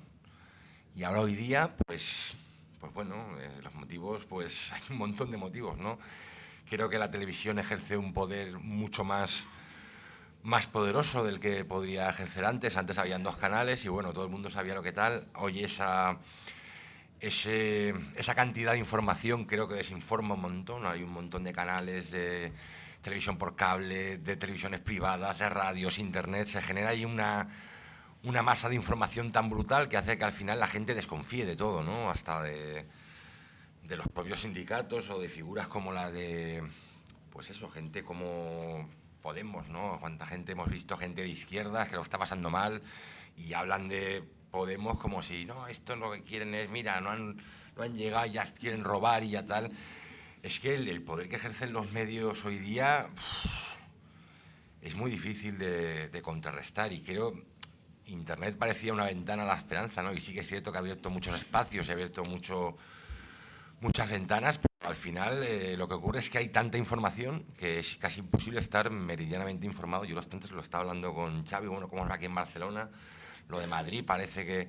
Claro, al final eh, conozco un poco lo que es mi ciudad y, y poco más porque es lo que veo, lo que, lo que siento, lo que puedo ir a ver en, en directo, porque al final te llegan tantas informaciones, hay una cantidad tan brutal de información que cuesta muchísimo estar informado, pero hasta de lo que pasa en Barcelona, que se supone que es un ayuntamiento que gobernamos y que es una, es una locura de, todo este magma de, información y de, y de datos y de opiniones y de... Se nos va de las manos. Muy breve. Para hacer de abogado del diablo, digo por no porque no esté de acuerdo con todo lo que se ha dicho. La frase, además, la frase me ha, llevado esto, el, cómo acaba el manifiesto, ¿no? que es, has dicho, y en esa batalla hay la carrera, salva sus cadenas. y, te- y- y- y todo un mundo que ganar Todo mundo que- que yo creo que es la otra parte que a veces nos falta. O sea, que es cuál es el mundo a ganar. Es decir, que muchas veces, ¿por qué digo esto? Porque, por ejemplo, el 15M, ¿no? Es verdad que podía ser mesocrático, pero el nivel de aceptación era brutal. No ha habido nunca un movimiento sociopolítico, por llamarlo así, ah, movimiento sociopolítico que cuestionase el funcionamiento del sistema, otra cosa si era para reformarlo para sustituirlo, eso ya, pero que cuestionase el movimiento del sistema, mm, desde la transición hasta hoy no ha habido ninguno que tuviera el 85% de apoyos, era brutal. Solo hay un movimiento social, pero que no cuestiona todo el funcionamiento del sistema, sino solo una cosa concreta, que, que es el de la guerra, la guerra del Golfo, que tuvo más apoyo, pero era solo que no, que no fuéramos a la guerra. ¿no? Ah, ¿Qué quiero decir con ello? Que, ah, que efectivamente parecía que el diagnóstico era muy compartido. Es decir, que no somos mercancía en manos de políticos y banqueros, que nos están robando, que esto no es una democracia. Pero no es que el diagnóstico sea compartido, otro es cuál es la solución. Y ahí está. Yo creo que ahí es uno de los, grandes retos. ¿Por qué digo esto? Porque es cierto que, que la conciencia de clase mm, de los 70 no está aquí. Eso que- pero yo, pero digo por decir, igual que existe un espacio profundo, y creo que en el libro lo reflejáis, o sea, igual que existe un espacio profundo, una, una, luz que sale de los agujeros negros y se escapa, ¿eh? de la misma forma que pasa esto, yo creo que existe como una conciencia de clase profunda en este país. Porque si no, porque tú decías, Trump, ¿no? clase obrera, ah, Brexit, sí, es otra cosa. Pero bueno, la campaña del Brexit, que era muy claramente contra la migración, no, no tanto el Brexit en sí mismo. Ah, clase obrera, Le Pen, clase obrera. Pero cuando hablas, bueno, claro, y cuando hablas de que es pa, pa, ah, vale, los fenómenos serán mejores o peores lo que estamos haciendo, pero bueno, o sea, tú deci- bueno, yo me acuerdo de las elecciones de 20 de diciembre, las elecciones de 20 de diciembre la discusión en Cataluña, ahora ya nadie se acuerda porque pasó lo que pasó, pero la, la discusión en Cataluña era si ganaba Ciudadanos las elecciones en Cataluña y casi todo el mundo. Estaba la cosa entre Ciudadanos y Esquerra Republicana. Nadie daba un duro por nosotros. Y ganamos nosotros. Y ganamos en los barrios. ¿eh? No, no, ah, básicamente ganamos en los barrios. Ganamos en toda la área metropolitana, menos en, en una ciudad que no ganamos, San Cugat. ¿eh? Que, que, quedamos segundos, que yo flipé. O sea, que tampoco digo, hostia, hasta en San Cugat segundos. Uh, pero todo, ¿qué quiero decir con esto? Uh, que evidentemente yo creo que, y además lo reflejáis muy bien, tanto en lo que decís como en el libro, que hay problemas profundos, que esto no es uh, lo que debería ser, y debería ser mucho más allá, pero que comparado con otros fenómenos que están pasando en el mundo, y esto puede responder a que efectivamente pues haya gente que se haya implicado y todo y que, que, ha construido propuestas. Pero yo siempre he tenido la sensación de que hay como una... Yo cómo lo diría, yo soy de Sabadell, ¿no? Y Sabadell antes había fábricas y estaba la unidad hermética. La unidad hermética ahora nadie la conoce como una fábrica, es una zona de, de, de pasárselo bien, pero no, no, nadie sabe. Bueno, sí que se sabe, pero, pero sí que es verdad que, por ejemplo, en Sabadell o, o en el Baix, a veces no es consciente, a veces no es directo, o sea, a veces no es como sé que pasó esto y pasó lo otro y eso configura, pero sí que hay una cierta perspectiva del mundo, no sé cómo llamarla, que igual no se codifica claramente como conciencia que igual está mezclado con muchas cosas de las que decís, pero que algo sigue estando ahí. Y eso es, exacto, y eso explica por qué, evidentemente, yo, la hipótesis Podemos, seguro que es, pues Pablo e Íñigo tuvieron tal, vosotros lo decís, ¿no? no creo, pero yo no sé si esto hubiera podido pasar en otro país. ¿no? Esto pasa porque hay algo que va más allá de eso, ¿no? Hay unos códigos compartidos a veces son contradictorios con otras cosas que se piensan. No, no digo que sea coherente, no digo que se activa. Es decir, hay una cosa que todo el mundo esperaba con la crisis económica. ¿eh? Con la crisis económica se esperaba que aquí hubiera pogroms, es decir, que hubiese unas grandes, uh, unas grandes ataques a la figura del migrante. No, no, no, digo que no haya casos de xenofobia, pero aquello que se esperaba de inicio no pasó. Y no es porque la gente. O sea, una cierta esperanza y confianza precisamente en esa cultura de clase que vosotros reivindicáis, que es cierto que se ha querido destruir, que es cierto que, que no se ha visto reconocida, que es cierto que, que, se ha fracasado mucho, pero también es cierto que llevamos casi 100 años esa cultura de clase y que algo, algo sigue. O sea, podemos, en mi sentido, aún podemos agradecer a todos esos uh, que nuestro presente tenga esperanza. ¿no? Yo en ese sentido. Y, eso no puede ser, yo estoy muy de acuerdo con lo que decís, ¿eh? no, no, no sé, pues ya está, no, precisamente, pero algo sí que pasa, porque si no, no está pasando lo de, lo de, lo de Le Pen, no pasa, lo de Trump no pasa, y pasan otras cosas que también son bestias, pero son bestias en otro sentido, ¿no? Y, y eso es bueno. Sí, eh, completamente de acuerdo. Creo que el 15M fue una vacuna frente a esa, esa extrema derecha xenófoba y populista. Y al hilo de lo que dices, creo que fue muy interesante cuando salió el vídeo este de Suárez reconociendo lo que todos ya sabíamos, que no se hizo una consulta sobre el modelo de Estado porque, porque la perdían. ¿no? Y creo que eso es muy interesante porque después de 40 años de represión, de dictadura, de oscuridad, después de, de meter el miedo a la gente, ¿no? porque yo recuerdo a mi abuela que me decía, no te metas en política, ¿no? te, si hay una manifestación no vayas el primero con la bandera, que es el primero es al que Después de 40 años de meterle el miedo a la gente hasta, hasta el tuétano, si se hubiera hecho una consulta en el 77, hubiera salido que el pueblo español quería una república. Y es algo que me hizo sentir orgullo, de decir, joder, eh, 40 años de, de represión no, no, han servido para doblegar hasta el último... Y la gente, ¿no? Porque siempre, para justificar a veces eh, la el colaboracionismo de algunos partidos durante la transición se decía, no, es que había mucho miedo, no, es que los militares, oye, pues igual la gente tenía miedo, pero igual le apetecía aparcar ese miedo y si hubiera habido una consulta se hubiera votado, se hubiera votado República, ¿no? Y de verdad cuando salió la, la noticia esa fue de, de orgullo de, de, patria, pero en el sentido bien de la palabra, ¿no? De decir, joder, 40 años no han servido para, para que la gente Claro, habría que ver si hicieras encuesta hoy, ¿no?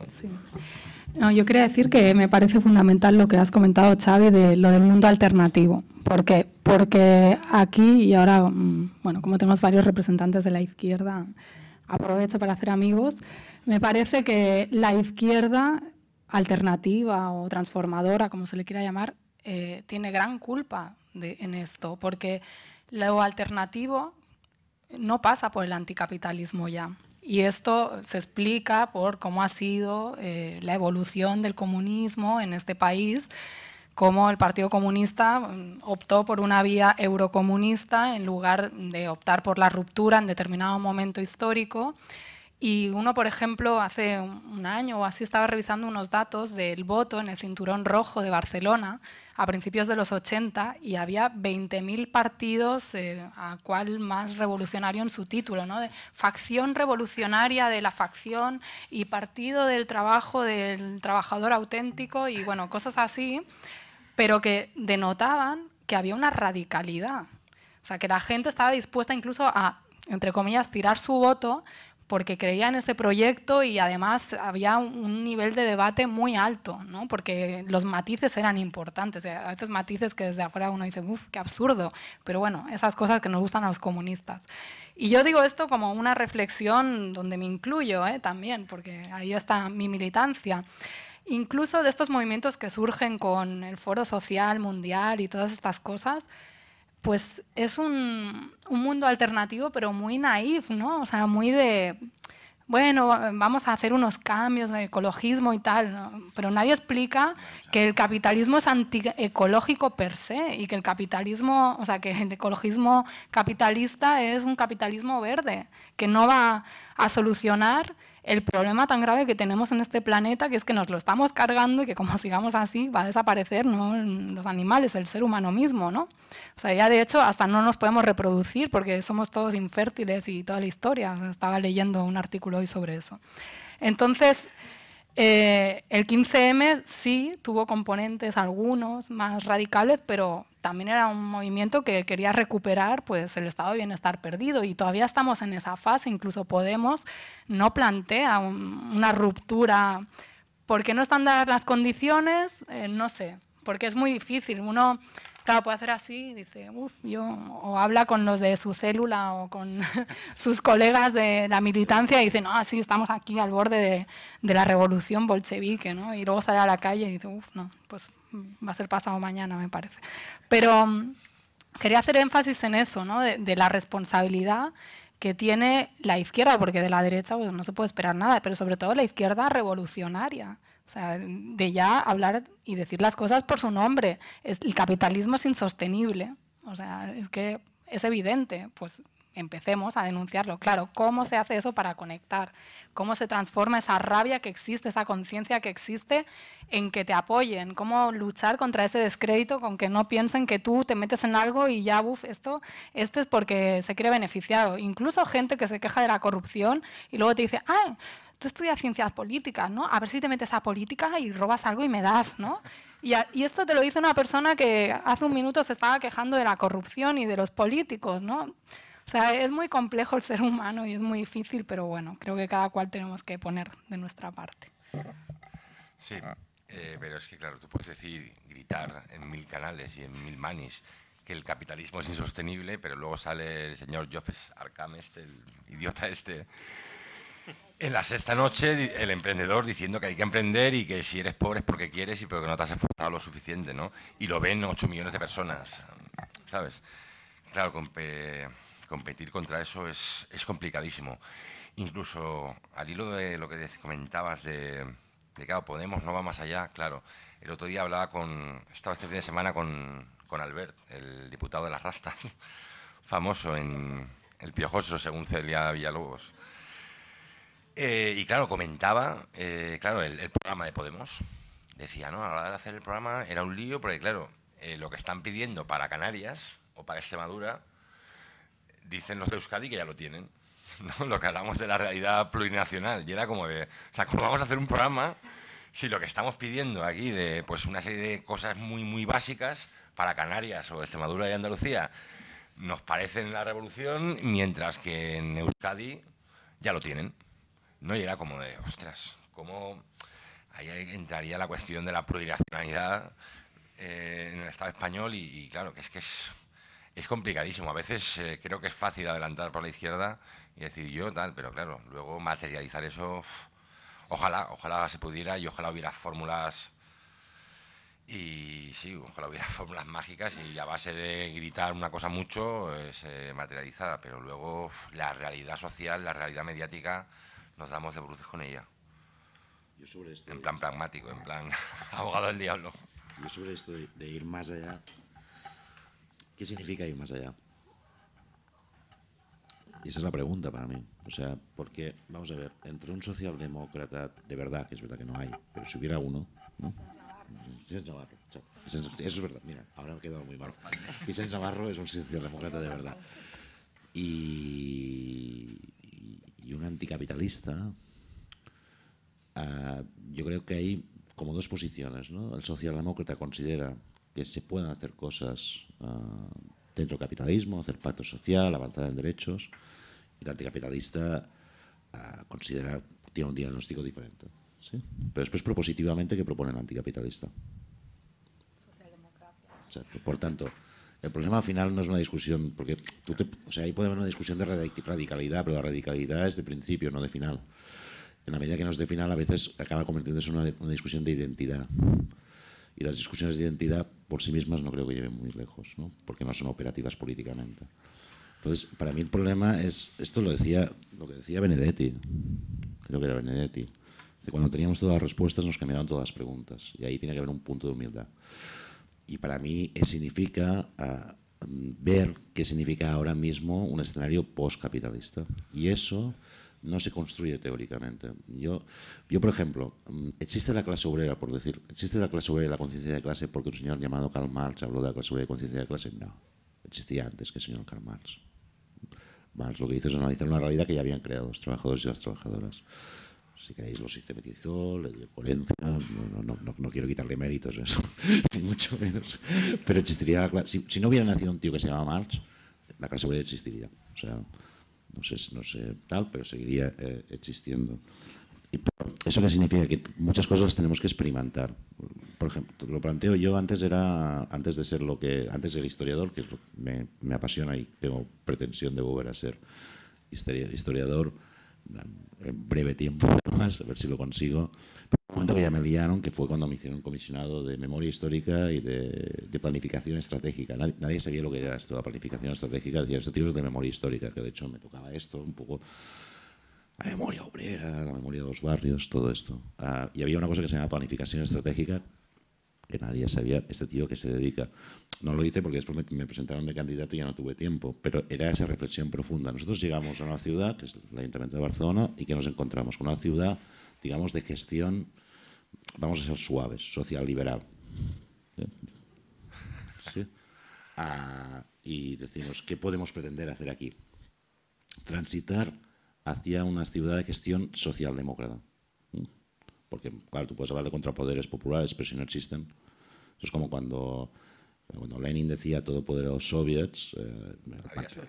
había, soviets. el Partido Comunista Español cuando se declara la República en, en, en España, 14 de abril, la primera consigna que, que, lanza es todo poder a los soviets, y había Maurín que dijo, pero ¿qué soviets? Aquí no... Aquí no hay ninguno, ¿no? Que, o sea, que esto, no, tampoco era una creación de Lenin, los soviets existían antes de que Lenin pensara algo sobre ellos. ¿no? Los soviets los crearon los obreros y las obreras de Petrogrado, básicamente, y se extendió como tal. Bueno, entonces dijimos, bueno, ¿aquí qué podemos aspirar? Pues intentar hacer, eh, transitar la ciudad hacia políticas redistributivas claramente, una fiscalidad progresiva, y esto es keynesianismo además municipal, que vete a saber tú, sí, ordenar el tema del turismo, que hubiera redistribución. ¿Y eso es lo que queremos? Hombre, pues tampoco. Querríamos ir más allá, en ese más allá. Y ahí el, el, tema este, lo que tocaba de esta estrategia, de estratégico era esto, era cómo podemos empezar a construir experiencias de economía y de, de vivencia diferente que sabemos que no podemos aplicar porque, porque no estamos seguros. O sea, tenemos que reconocer que nos cambiaron las preguntas, que no estamos, pero que empiecen a funcionar para construir alternativas de futuro. ¿no? O sea, que igual no podemos, o sea, que esto no lo podemos hacer extensivo ahora mismo. Yo creo que esa voluntad, porque lo que decías tú, esa voluntad no la podemos abandonar jamás. Y hay el peligro que la abandonemos. ¿eh? Yo, eso sí, cuando entras en un institucional, ese peligro es evidente. ¿eh? No, pero esa voluntad de decir que efectivamente que hay un problema de eso. O sea, lo que decías tú, la crisis ecológica en ciernes es brutal, que hay un tema de, pues, pues de, que el modelo económico es injusto, pero además de injusto tiene peligros evidentes de, implosionar y que por tanto tú tienes que transitar en una sociedad que sea ya radicalmente diferente. Pero eso que antes parecía muy solucionado, tú te miras los libros de marxismo de los años 70 es algo brutal. Se llaman, yo, bueno, yo he comprado muchas cosas de estas, se llaman transición hacia el socialismo, una economía planificada. o sea, era como que ya todo el mundo estaba debatiendo de cómo iba a ser la cosa. Ahora tú compras libros de estos. ¿eh? Socialismo No, no, pero aquí, aquí también había Maurice Dobb. Maurice que decía en Estados Unidos, escribía sobre no sé qué, lo, discutía con Suesi y entonces hacía una discusión de cómo tenía que ser la transición al socialismo y tal. Y ahora tú vas y no hay eso también lo decía Marx, que cada época se imagina aquello que puede realizar. Y probablemente en nuestra época hay muchas cosas que imaginan en el pasado que ya sabemos, sabemos que ahora mismo tenemos que empezar un poco más atrás. ¿no? Que en eso hay el peligro de convertirnos en una socialdemócrata y unos socialliberales traidores. Puede ser. no, hombre, no, no, digo, no. Yo como voy a ir pronto, pues ya. es que se No, no, pero que, pero que, ser, ser conscientes de ese peligro yo creo que es la mejor vacuna contra lo que pasa. O sea, yo no... Eh, ser conscientes de que ese peligro existe cuando estás en un institucional y que, eso... Que, es que es muy fácil, ¿eh? O sea, ahora estoy en el Congreso, ¿no? Y me planteo, o sea, porque no tengo más tiempo, me planteo lo que hay en el Congreso. O sea, la semana que viene hay una interpelación, hay un no sé qué, no sé. Los problemas son estos. Antes, cuando estabas fuera, te planteabas cosas un poco más grandes porque ahí está cada día tal. Y ahí, está, ahí hay peligros, es evidente. Yo creo que tenemos que ser conscientes de ese peligro para, para que no pasen, ¿no? pero que esa voluntad no debemos abandonar. Sí, la verdad es que el tema de las etiquetas y creo que el, eje político se ha desplazado tanto a la derecha que lo que antes era un socialdemócrata hoy es un social liberal o, algo incluso peor y los antiguos comunistas se ven obligados a estar en la, en la socialdemocracia. Pero creo que no nos beneficia el tema de las etiquetas. Yo siempre pongo el ejemplo de, del Reino Unido en los años 60. En la práctica, o sea, más allá de etiquetas, de, más allá de etiquetas, más allá de la retórica, eh, creo que económicamente eran, vamos, eh, creo que la Venezuela de Chávez no llegó a, a los niveles de protección social que tenía el Reino Unido en los años 60, eh, los grandes sectores nacionalizados, la energía, el agua, el transporte la leche... Eh, no había una retórica socialista ni una retórica incendiaria de esto es el, Estado revolucionario, pero en la práctica, más allá de todas esas retóricas incendiarias, era, joder, era algo que, vamos, hoy día son, serían medidas tildadas poco menos de... Vamos, radicalismo, en los, hasta que llegó Thatcher, bueno, en los 60, los 70 había, pues eso, la energía, el gas, eh, la electricidad, la universidad, la escuela, se daba, se daba de comer a los niños en las escuelas, que es una medida que se cargó Thatcher, lo de quitar la leche a los, a los niños cuando llegaba. Y, claro, se ha desplazado todo tanto que hoy día esas medidas nos parecen una auténtica utopía casi, ¿no? Y bueno, y es un poco con lo que nos toca bregar hoy día. Simplemente por decir, eh, para mí el principal problema de que la utopía en sí misma desaparezca es un problema de techos. Es un problema de, aspiraciones utópicas, mm. aún asumiendo que son aspiraciones utópicas. La desaparición del, deseo, del deseo de la utopía, esto que Jameson llama el deseo de la utopía, eh, provoca la segunda frase famosa de Jameson, que es, eh, es más fácil imaginar el fin del mundo que imaginar el fin del capitalismo. Entonces, es cierto que la praxis política se, se, se estrella contra el deseo, pero el deseo vitaliza la praxis política. Entonces, eh, hay que pedir mucho para luego... claro. se olvida ese deseo.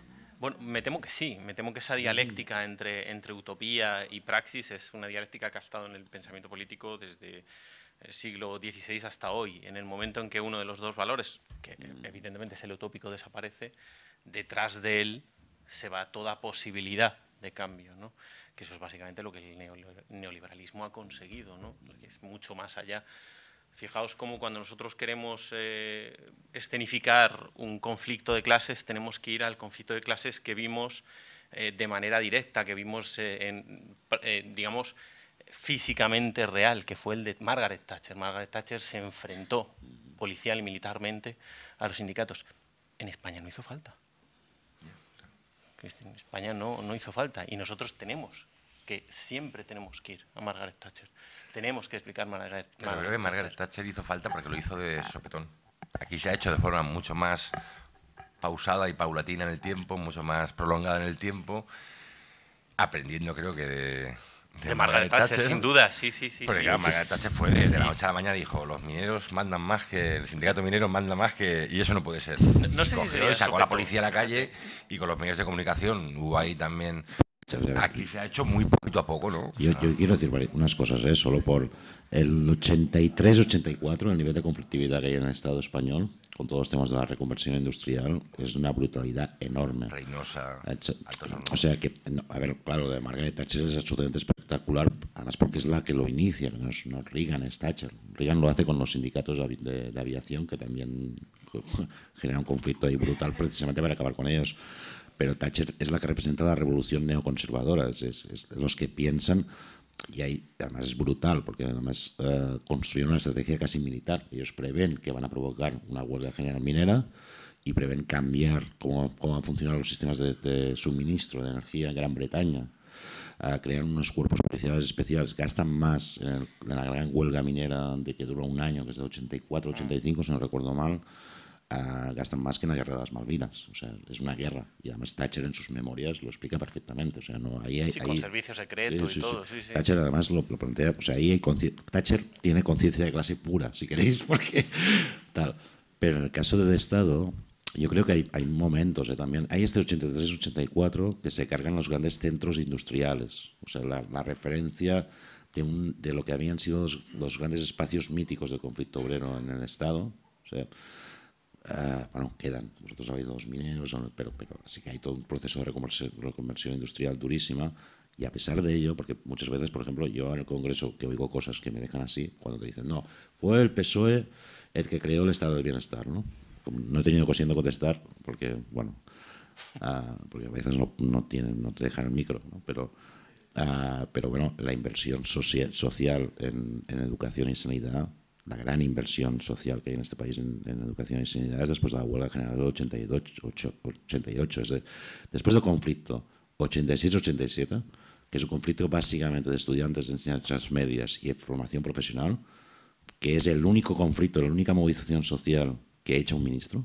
No había ninguna otra movilización social, que es Marabay en este caso, que haya conseguido echar un ministro. Que no- no- la sala, hay gente que sí que lo recordará, otros son muy jóvenes, pero se, eh, se simbolizó por, el- por el cojo mantecas, no sé si recordáis el famoso cojo mantecas, que bueno, que fue toda una historia, yo me acuerdo de, bueno, y bueno, y, y- y en esas manifestaciones se tiraron tiros, además, tiros de polis cogiendo pistola y tirando tiro, ¿eh? no, no, no tal, y después hubo el conflicto el, el del 14D, fue brutal, que es verdad que ahí hay un tema de televisión, y ahí todo el tema de los medios, porque de hecho las huelgas que hay en los 90, en, creo en 92, 93, hay algunas que hay más participación de trabajadores y trabajadoras que la, que la del 14D. Pero la 14D eh, se- estaba centralizada en Torre España, la televisión, y hubo un trabajador o una trabajadora, no sé, que apretó el botón y no hubo tele durante todo el, el 14D, con lo cual la sensación de victoria era absoluta, porque no, abrías la televisión y no, no había nadie. Fueron listos y cambiaron el sistema, con lo cual ahora no hay nadie que pueda apretar un botón y acabe con la televisión, ¿no? Y a veces participa más gente, pero después, o sea que yo, yo que aquí ha habido conflictos de clase potentes también, que no, no es, y ha habido luchas duras, y han sido luchas que al final efectivamente, ah, pues mira, las huelgas de soli- solidaridad, se perdieron ah, y, se perdió muchas cosas, pero que también hubo un... O sea, que- que- que- quería decir, la, la clase obrera del Estado no, no se rindió tampoco. O sea, Lo que pasa es que, bueno, que la, la- la situación ha sido la que... Bueno, es igual, que además yo me tengo que ir, os pido disculpas porque me tengo que ir a Madrid. Ah, por tanto, os agradezco muchísimo esta tarde maravillosa que me habéis hecho pasar. Gracias.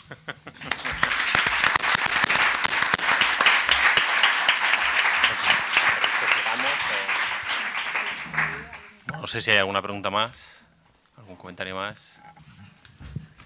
Sí, yo quería, cuando habéis hablado de los de los sindicatos, yo sí que animar, si se puede, a los autores que si hacéis una segunda una segunda parte y hay que dedicarle más más hojas, la dediquéis, le dedicáis unas líneas, pero las líneas que le dedicáis son, o sea, a mí me parece que son muy acertadas porque a la hora de explicar cuál es el estado de la clase obrera hoy y señalar los culpables, eh, me parece que la burocracia sindical, por no hablar de los sindicatos y, parecer uno de intereconomía tirándose contra los sindicatos, sino las direcciones de comisiones obreras y de UGT eh, desde los años 80 y sobre todo en los 90, son agentes directos del de, el estado en el que se encuentra objetivamente y en gran medida también subjetivamente en cuanto a desorganización, importantísimos sectores de la clase obrera. Cuando hacéis el repaso de las reformas laborales, ahí explicáis que muchas reformas pasan con la condescendencia de comisiones y UGT y otras pasan directamente con la firma a favor de eh, comisiones obreras y UGT. O sea, no sé, todos los jóvenes que estemos hoy aquí hayamos trabajado en una TT o, o, por una subcontrata o con alguno de los múltiples contratos temporales que hay o lo que sea, tendríamos que saber que eso lo hemos hecho gracias a que comisiones obreras y UGT lo firmó. Y luego todo lo que han firmado, no en pactos de Estado, pero sí en las empresas, tablas B, eh, con, convenios de segregación, bueno, todo lo que, no sé, grandes empresas como Telefónica, todo lo que ha acabado convirtiéndose en una múltiple escala de, subcontrataciones, todo eso viene con la firma y con el aval de comisiones obreras de UGT y si no, no se hubiera podido hacer o hubiera sido mucho más costoso de realizar y hubieran tenido que haberse más derrotas como las de la reconversión, que también estaría bien que analizáramos por qué se perdieron las reformas de la reconversión. Cuando habéis dicho que esto, no era Gran Bretaña, que allí fue, digamos, a, guerra abierta y aquí fue a poco a poco, bueno, yo creo que también tiene que ver con que allí lo hizo el Partido Conservador y aquí lo hizo el Partido Socialista. Entonces el Partido Socialista lo podía hacer a poco a poco y con alguna colaboración que otra, ¿no? estrella, que fundamentalmente eran las de las direcciones de comisiones sobre UGT, que cuando no les tocaba, cuando no quedaba más remedio luchaban y luchaban y hacían grandes gestas, pero en general han sido los agentes de que aquí haya una precariedad horrible. Y a mí lo de la... Yo, no sé, una anécdota breve. Yo, me afilié a Comisiones Obreras con 19 años y trabajaba en, en Mercazaragoza, porque yo soy, de allí. Y cuando me, fui a afiliar al sindicato, los tíos, en vez de... O sea, yo fui obviamente a la Federación de Comercio para que me defendiera, me tenían que defender algo, eh, la sección sindical de, Sabeco, trabajaba para Sabeco, pero en Mercazaragoza, y los tíos me mandaron a la de banca, porque claro, mi contrato lo firmé en una ETT, así que yo era un trabajador de oficina.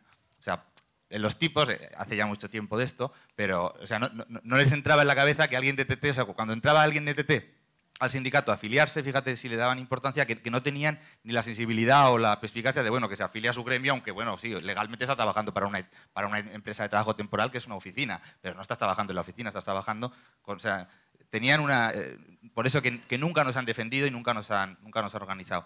Ahora, yo lo de los sindicatos me parece que es importante resaltarlo porque también, como el libro tiene una carga eh, política o, de intentar servir para abrir la reflexión y el debate y, por cómo se puede empezar a recuperar la clase trabajadora, para mí es importante en la otra parte también. Cuando habláis de que la clase obrera ha perdido mucho, eh, conciencia de clase, organización, etcétera, etcétera, yo creo que hay ahí señaláis a, responsables, señaláis a, los sindicatos, a las direcciones en, un punto, a la, izquierda a, la academia, eh, a la izquierda eh, académica, todo esto. Eh, pero yo creo que también, incluso para ver los nuevos fenómenos políticos actuales, qué relación tienen con, todo esto. ¿Qué relación tiene con la clase obrera y qué relación tienen con, la misma burocracia sindical? Porque yo he hecho muchas cosas en falta de los nuevos fenómenos políticos. Primero, que el discurso es ciudadanista, es de revolución ciudadana, es de ciudadanos para arriba, ciudadanos para abajo, los de abajo contra los de arriba, pero esencialmente es ciudadanismo lo, que se está planteando. Y para mí eso creo que también contribuye a, mezclarnos a todos o a ser todos parte de la etérea ciudadanía, y aquí somos todos eh, ciudadanos y por lo tanto no creo que ayude mucho a, recuperar la conciencia de, clase trabajadora. En segundo lugar, la relación con la burocracia sindical. A mí mm, estoy cansado, o sea, estoy cansado, no estoy deseoso de que alguien hable de la casta sindical. Igual que se podría hablar de la casta universitaria, que tampoco se habla. Yo, lo de los catedráticos, no sé, yo espero que si algún día hacemos una revolución no estén los mismos catedráticos, porque creo que son parte del aparato reproductor ideológico y, que toda esa casta habría que limpiarla también, pero la casta sindical nadie la menciona. Es más, más bien eh, hay un cierto acercamiento que a mí me preocupa en los últimos meses con esas direcciones de los sindicatos que son parte de, y una parte incluso, que es Izquierda Unida, tiene una relación orgánica con esos sindicatos. Huelgas aquí en Cataluña importantísimas como la de Panrico de hace dos años o tres, fue una huelga traicionada por comisiones obreras, pero por Izquierda Unida eran los que dirigían la Federación Agroalimentaria. Dirigentes de Izquierda Unida son los que dirigían la, Federación Agroalimentaria. Entonces, eh, eh, para mí eso es problemático. Incluso la relación que tienen los nuevos fenómenos políticos como Podemos o, eso cuando hay luchas obreras. Por ejemplo, aquí en Barcelona hemos tenido, porque está bien lo de los poderes y contrapoderes. Yo entiendo que se llega a un ayuntamiento, se está en minoría y demás. Pero cuando hay contrapoderes, en este caso contrapoderes obreros, por ejemplo, cuando surgió aquí la huelga de TMB, que fue una huelga de varios días, el ayuntamiento, en vez de salir y decir, no, viva la huelga de TMB, y es verdad, lo tenemos muy difícil porque estamos en minoría, entonces no vamos a poder acabar con los directivos o lo tenemos muy difícil. Pero como lo tengo muy difícil aquí porque estoy en minoría, viva la huelga de TMB y seguir así hasta que, hasta que logremos acabar con los directivos y con la precariedad laboral. Bueno, en vez de hacer eso, sale y, de los directivos ni una palabra, pero de los trabajadores de TMB salgo con la nómina, está la nómina de los trabajadores, son unos privilegiados, esto es una huelga que se cuesta, o sea, el mismo discurso que haría cualquier gobierno de derechas contra una huelga del metro. Entonces, a mí, eh, como, como, grito que decía Xavier Domenech del, libro, pues no sé, creo que, es para, no sé si para meter más el dedo en la llaga, pero que, eh, en qué sentido los nuevos fenómenos políticos, tanto por una cuestión de programa, de, discurso, de moderación, etcétera, etcétera, como sobre todo cuando se tienen que relacionar con, con luchas obreras, la ubicación que tienen no, va muy precisamente en apoyarse en ellas para conseguir recomponer eso, sino que, por lo menos en los momentos que en las grandes huelgas que han habido, las grandes luchas o, pequeñas, o con los manteros, o no sé, ha habido otros conflictos en los que la ubicación es pésima. Es una ubicación de ubicarse como se, como ubicaría un gobierno, no sé, convencional, de los que teníamos antes, que del PSC o de Convergencia. Bueno, eh, estoy totalmente de acuerdo con lo que has dicho. Tendría algunos matices, ¿no? porque no creo que sea lo mismo tampoco.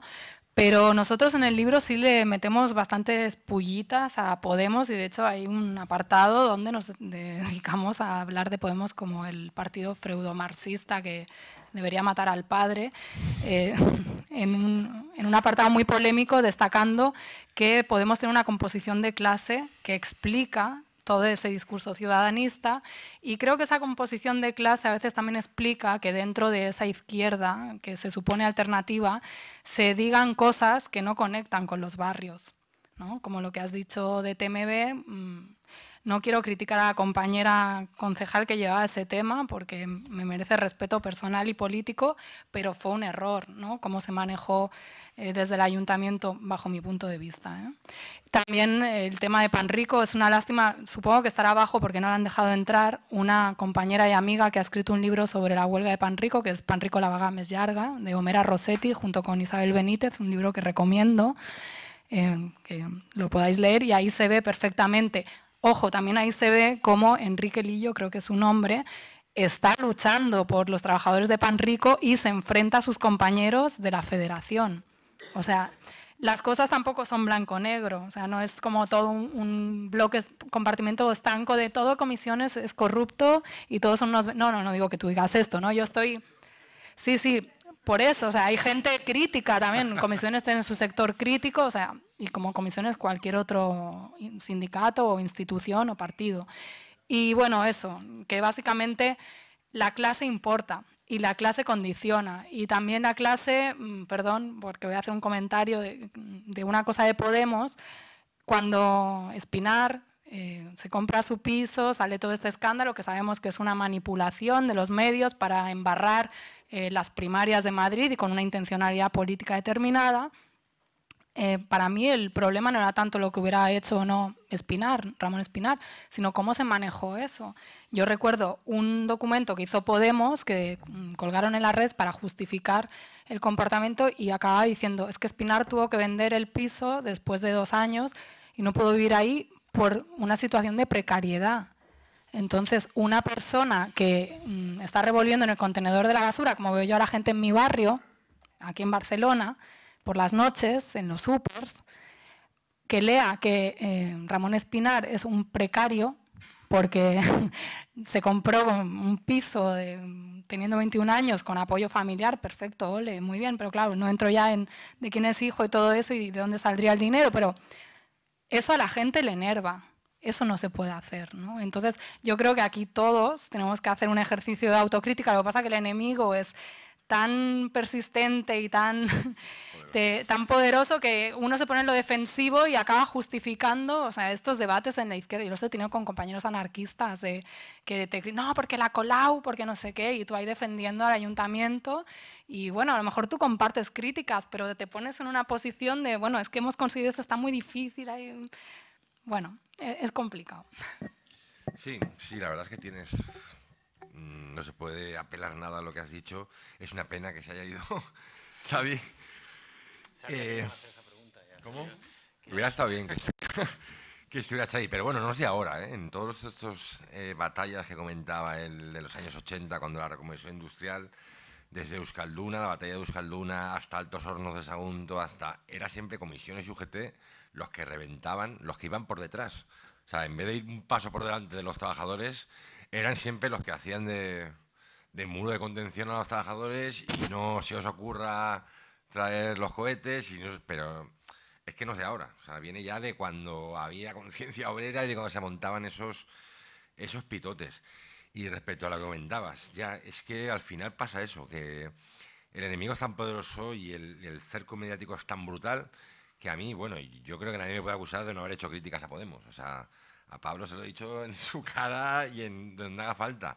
Y a Pablo y a quien haga falta. Pero claro, cuando estás en esa situación de fortaleza cercada con todos encima de ti, estás más eh, repeliendo ataques de la derecha, del PSOE, de tal, que al final haciendo un trabajo crítico, ¿no? Que es que se pierde, que se pierde porque el ataque es tan brutal y tan permanente que estás todo el rato repeliendo lo que te viene de fuera para y no tienes tiempo apenas para poder construir.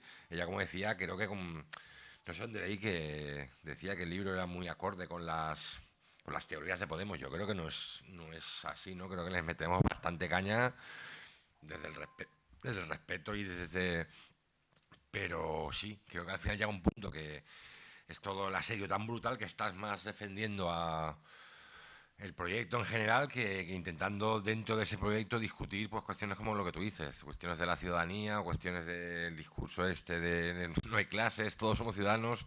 Ostras, ojalá hubiera más tiempo y más espacio para poder discutir eso que estar Bueno, desmintiendo. Pablo, Pablo dijo que iba a montar un partido de la clase obrera el otro día. El otro día se vino arriba. Sí, bueno, ahora mismo en Podemos hay un debate bastante encarnizado respecto a eso, ¿no? Respecto a hacia dónde tenemos que tirar, hacia dónde tenemos que... Un debate abierto. No sé si tenemos.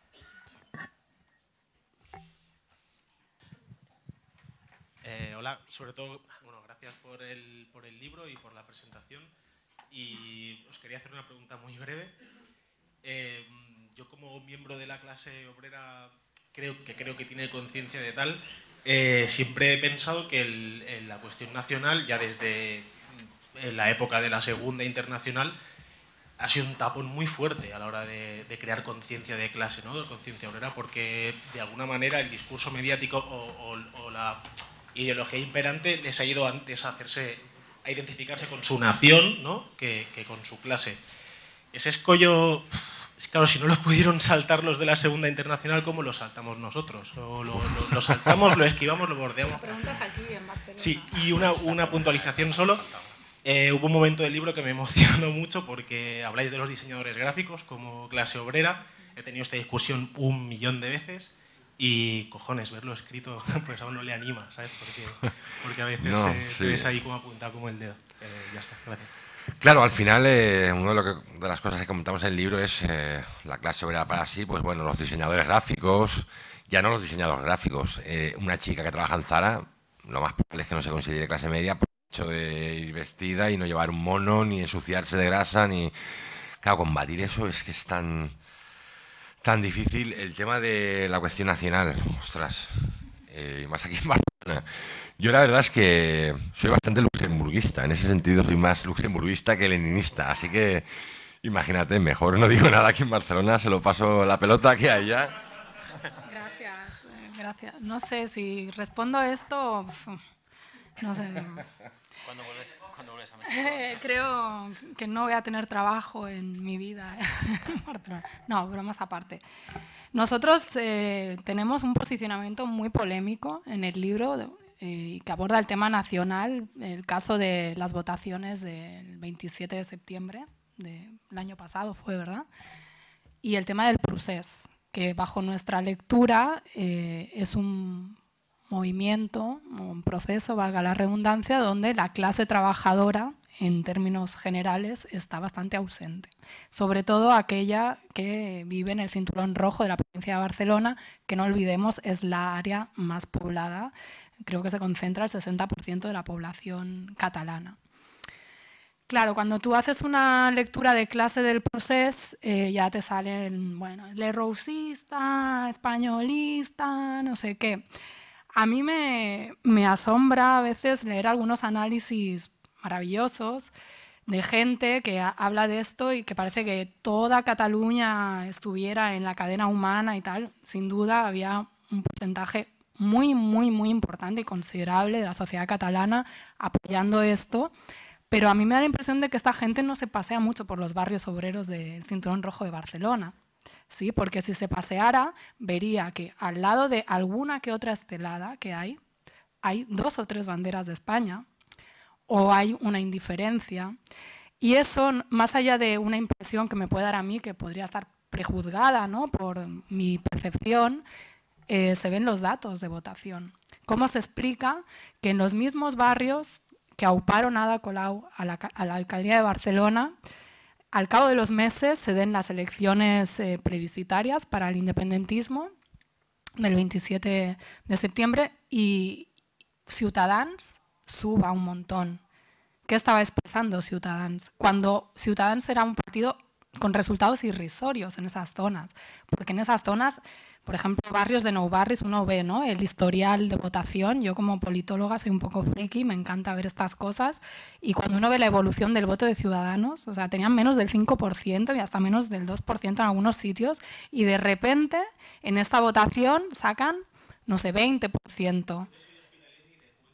Claro, yo soy del Carmelo yo tenía amigos en Facebook del barrio que nunca en su vida han subido nada de política y ese día subieron fotos votando y por España y no sé qué. ¿Y qué es España? O sea, claro, esta gente tiene una construcción seguramente errónea bajo el punto de vista de la izquierda revolucionaria, pero yo si fuera independentista revolucionaria, yo si fuera la CUP, creo que mm, tienen un campo ahí para hacer un trabajo profundo y lo digo, se lo digo gratis, ¿eh? no, no, les cobro, como asesora política. Porque a veces uno hace la crítica y, parece como que tú estés en contra, ¿no? Si yo encantada, ¿eh? Si mañana hay que votar por la independencia, igual es como a ver si pasa algo, ¿no? me da igual. Yo soy internacionalista, como anquilosada en, en, en otras ideologías de otros tiempos, pero sí creo que, bueno, lo típico, ¿no? Las naciones tienen derecho a la autodeterminación, pero hay que entender porque hay sectores, mm, yo diría que mayoritarios de la clase trabajadora aquí, en Cataluña, sobre todo, como digo, del cinturón rojo, eh, que no se siente interpelada con este tema, que es que le da igual que, el capitalismo sea en catalán o en castellano, o que, mm, o sea, ahora además el señor Pujol, que tiene la sede también convergencia embargada, igual que el PP. El señor que, o sea, el partido que ha sido la bisagra política del, del bipartidismo del régimen español, ¿no? Y, bueno, también explicar en esta pérdida de conciencia, cuando si tú quieres iniciar un proceso independentista, esto no se consigue con manitas así como las votaciones de Plaza Cataluña del 15M, no. Esto implica una desobediencia de verdad. O sea, si tú quieres desobedecer al Estado español, tienes que saber y explicar a la gente que va a suponer quizás prisión, quizás un choque, que, bueno, hay que ver qué, porcentaje de gente está dispuesto a asumir, ¿no?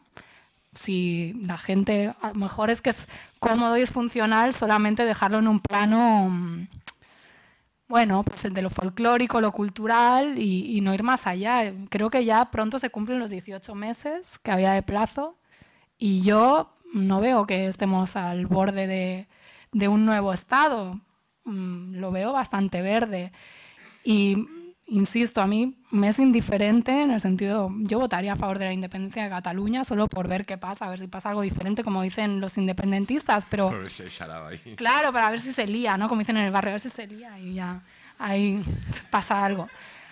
Pero molesta mucho eso porque forma parte también de esa Cataluña eh, relegada y marginada de los nens, ¿no? O sea, somos unos nens como cuando Puyol, y voy a acabar porque me enciendo y cuando Pujol dijo que el triunfo de, la integración, algo así en Cataluña, era que los, las Jennifers y las Chonis y todo esto, pues que hablaran catalán y fueran independentistas. Entonces, ¿qué pasa? Que nosotros somos Chonis y, Canis y, Jennifers. O sea, ese es el prototipo de, de, hijo de inmigrante español de Charnego que tiene esta burguesía catalana que ha hegemonizado el discurso del catalanismo durante décadas. Entonces eso también hay que entenderlo, porque la clase obrera, hay unas imágenes brutales de Pujol en Santa Coloma en los años 80, cuando se encara con un grupo de manifestantes y, y el tipo les habla con un desprecio de clase impresionante. Entonces es como un, instinto, ¿no? Y luego llega Pablo Iglesias y dice bueno, aquí los hijos de los inmigrantes que voten con orgullo de sus orígenes y se le echan encima como si estuviera mentando, bueno, porque es un tema que no se puede tocar. Porque aquí supuestamente todos somos iguales, ¿no? Y no hay, no, pero cuando uno empieza a ver, sí hay un rasgo que se sigue de, cuál es tu apellido y dónde estás tú colocado, ¿no? Entonces, no sé, lo que sirve para Estados Unidos, que es que alguien apele al voto latino, pues aquí este tema no se puede tocar porque forma parte del tabú y se ha construido una Cataluña idílica donde las diferentes oleadas migratorias se han integrado maravillosamente y esto, bueno, no hace falta más que pasar por este barrio y tantos otros, pues no, o sea, porque cómo tratamos a los inmigrantes que han venido después.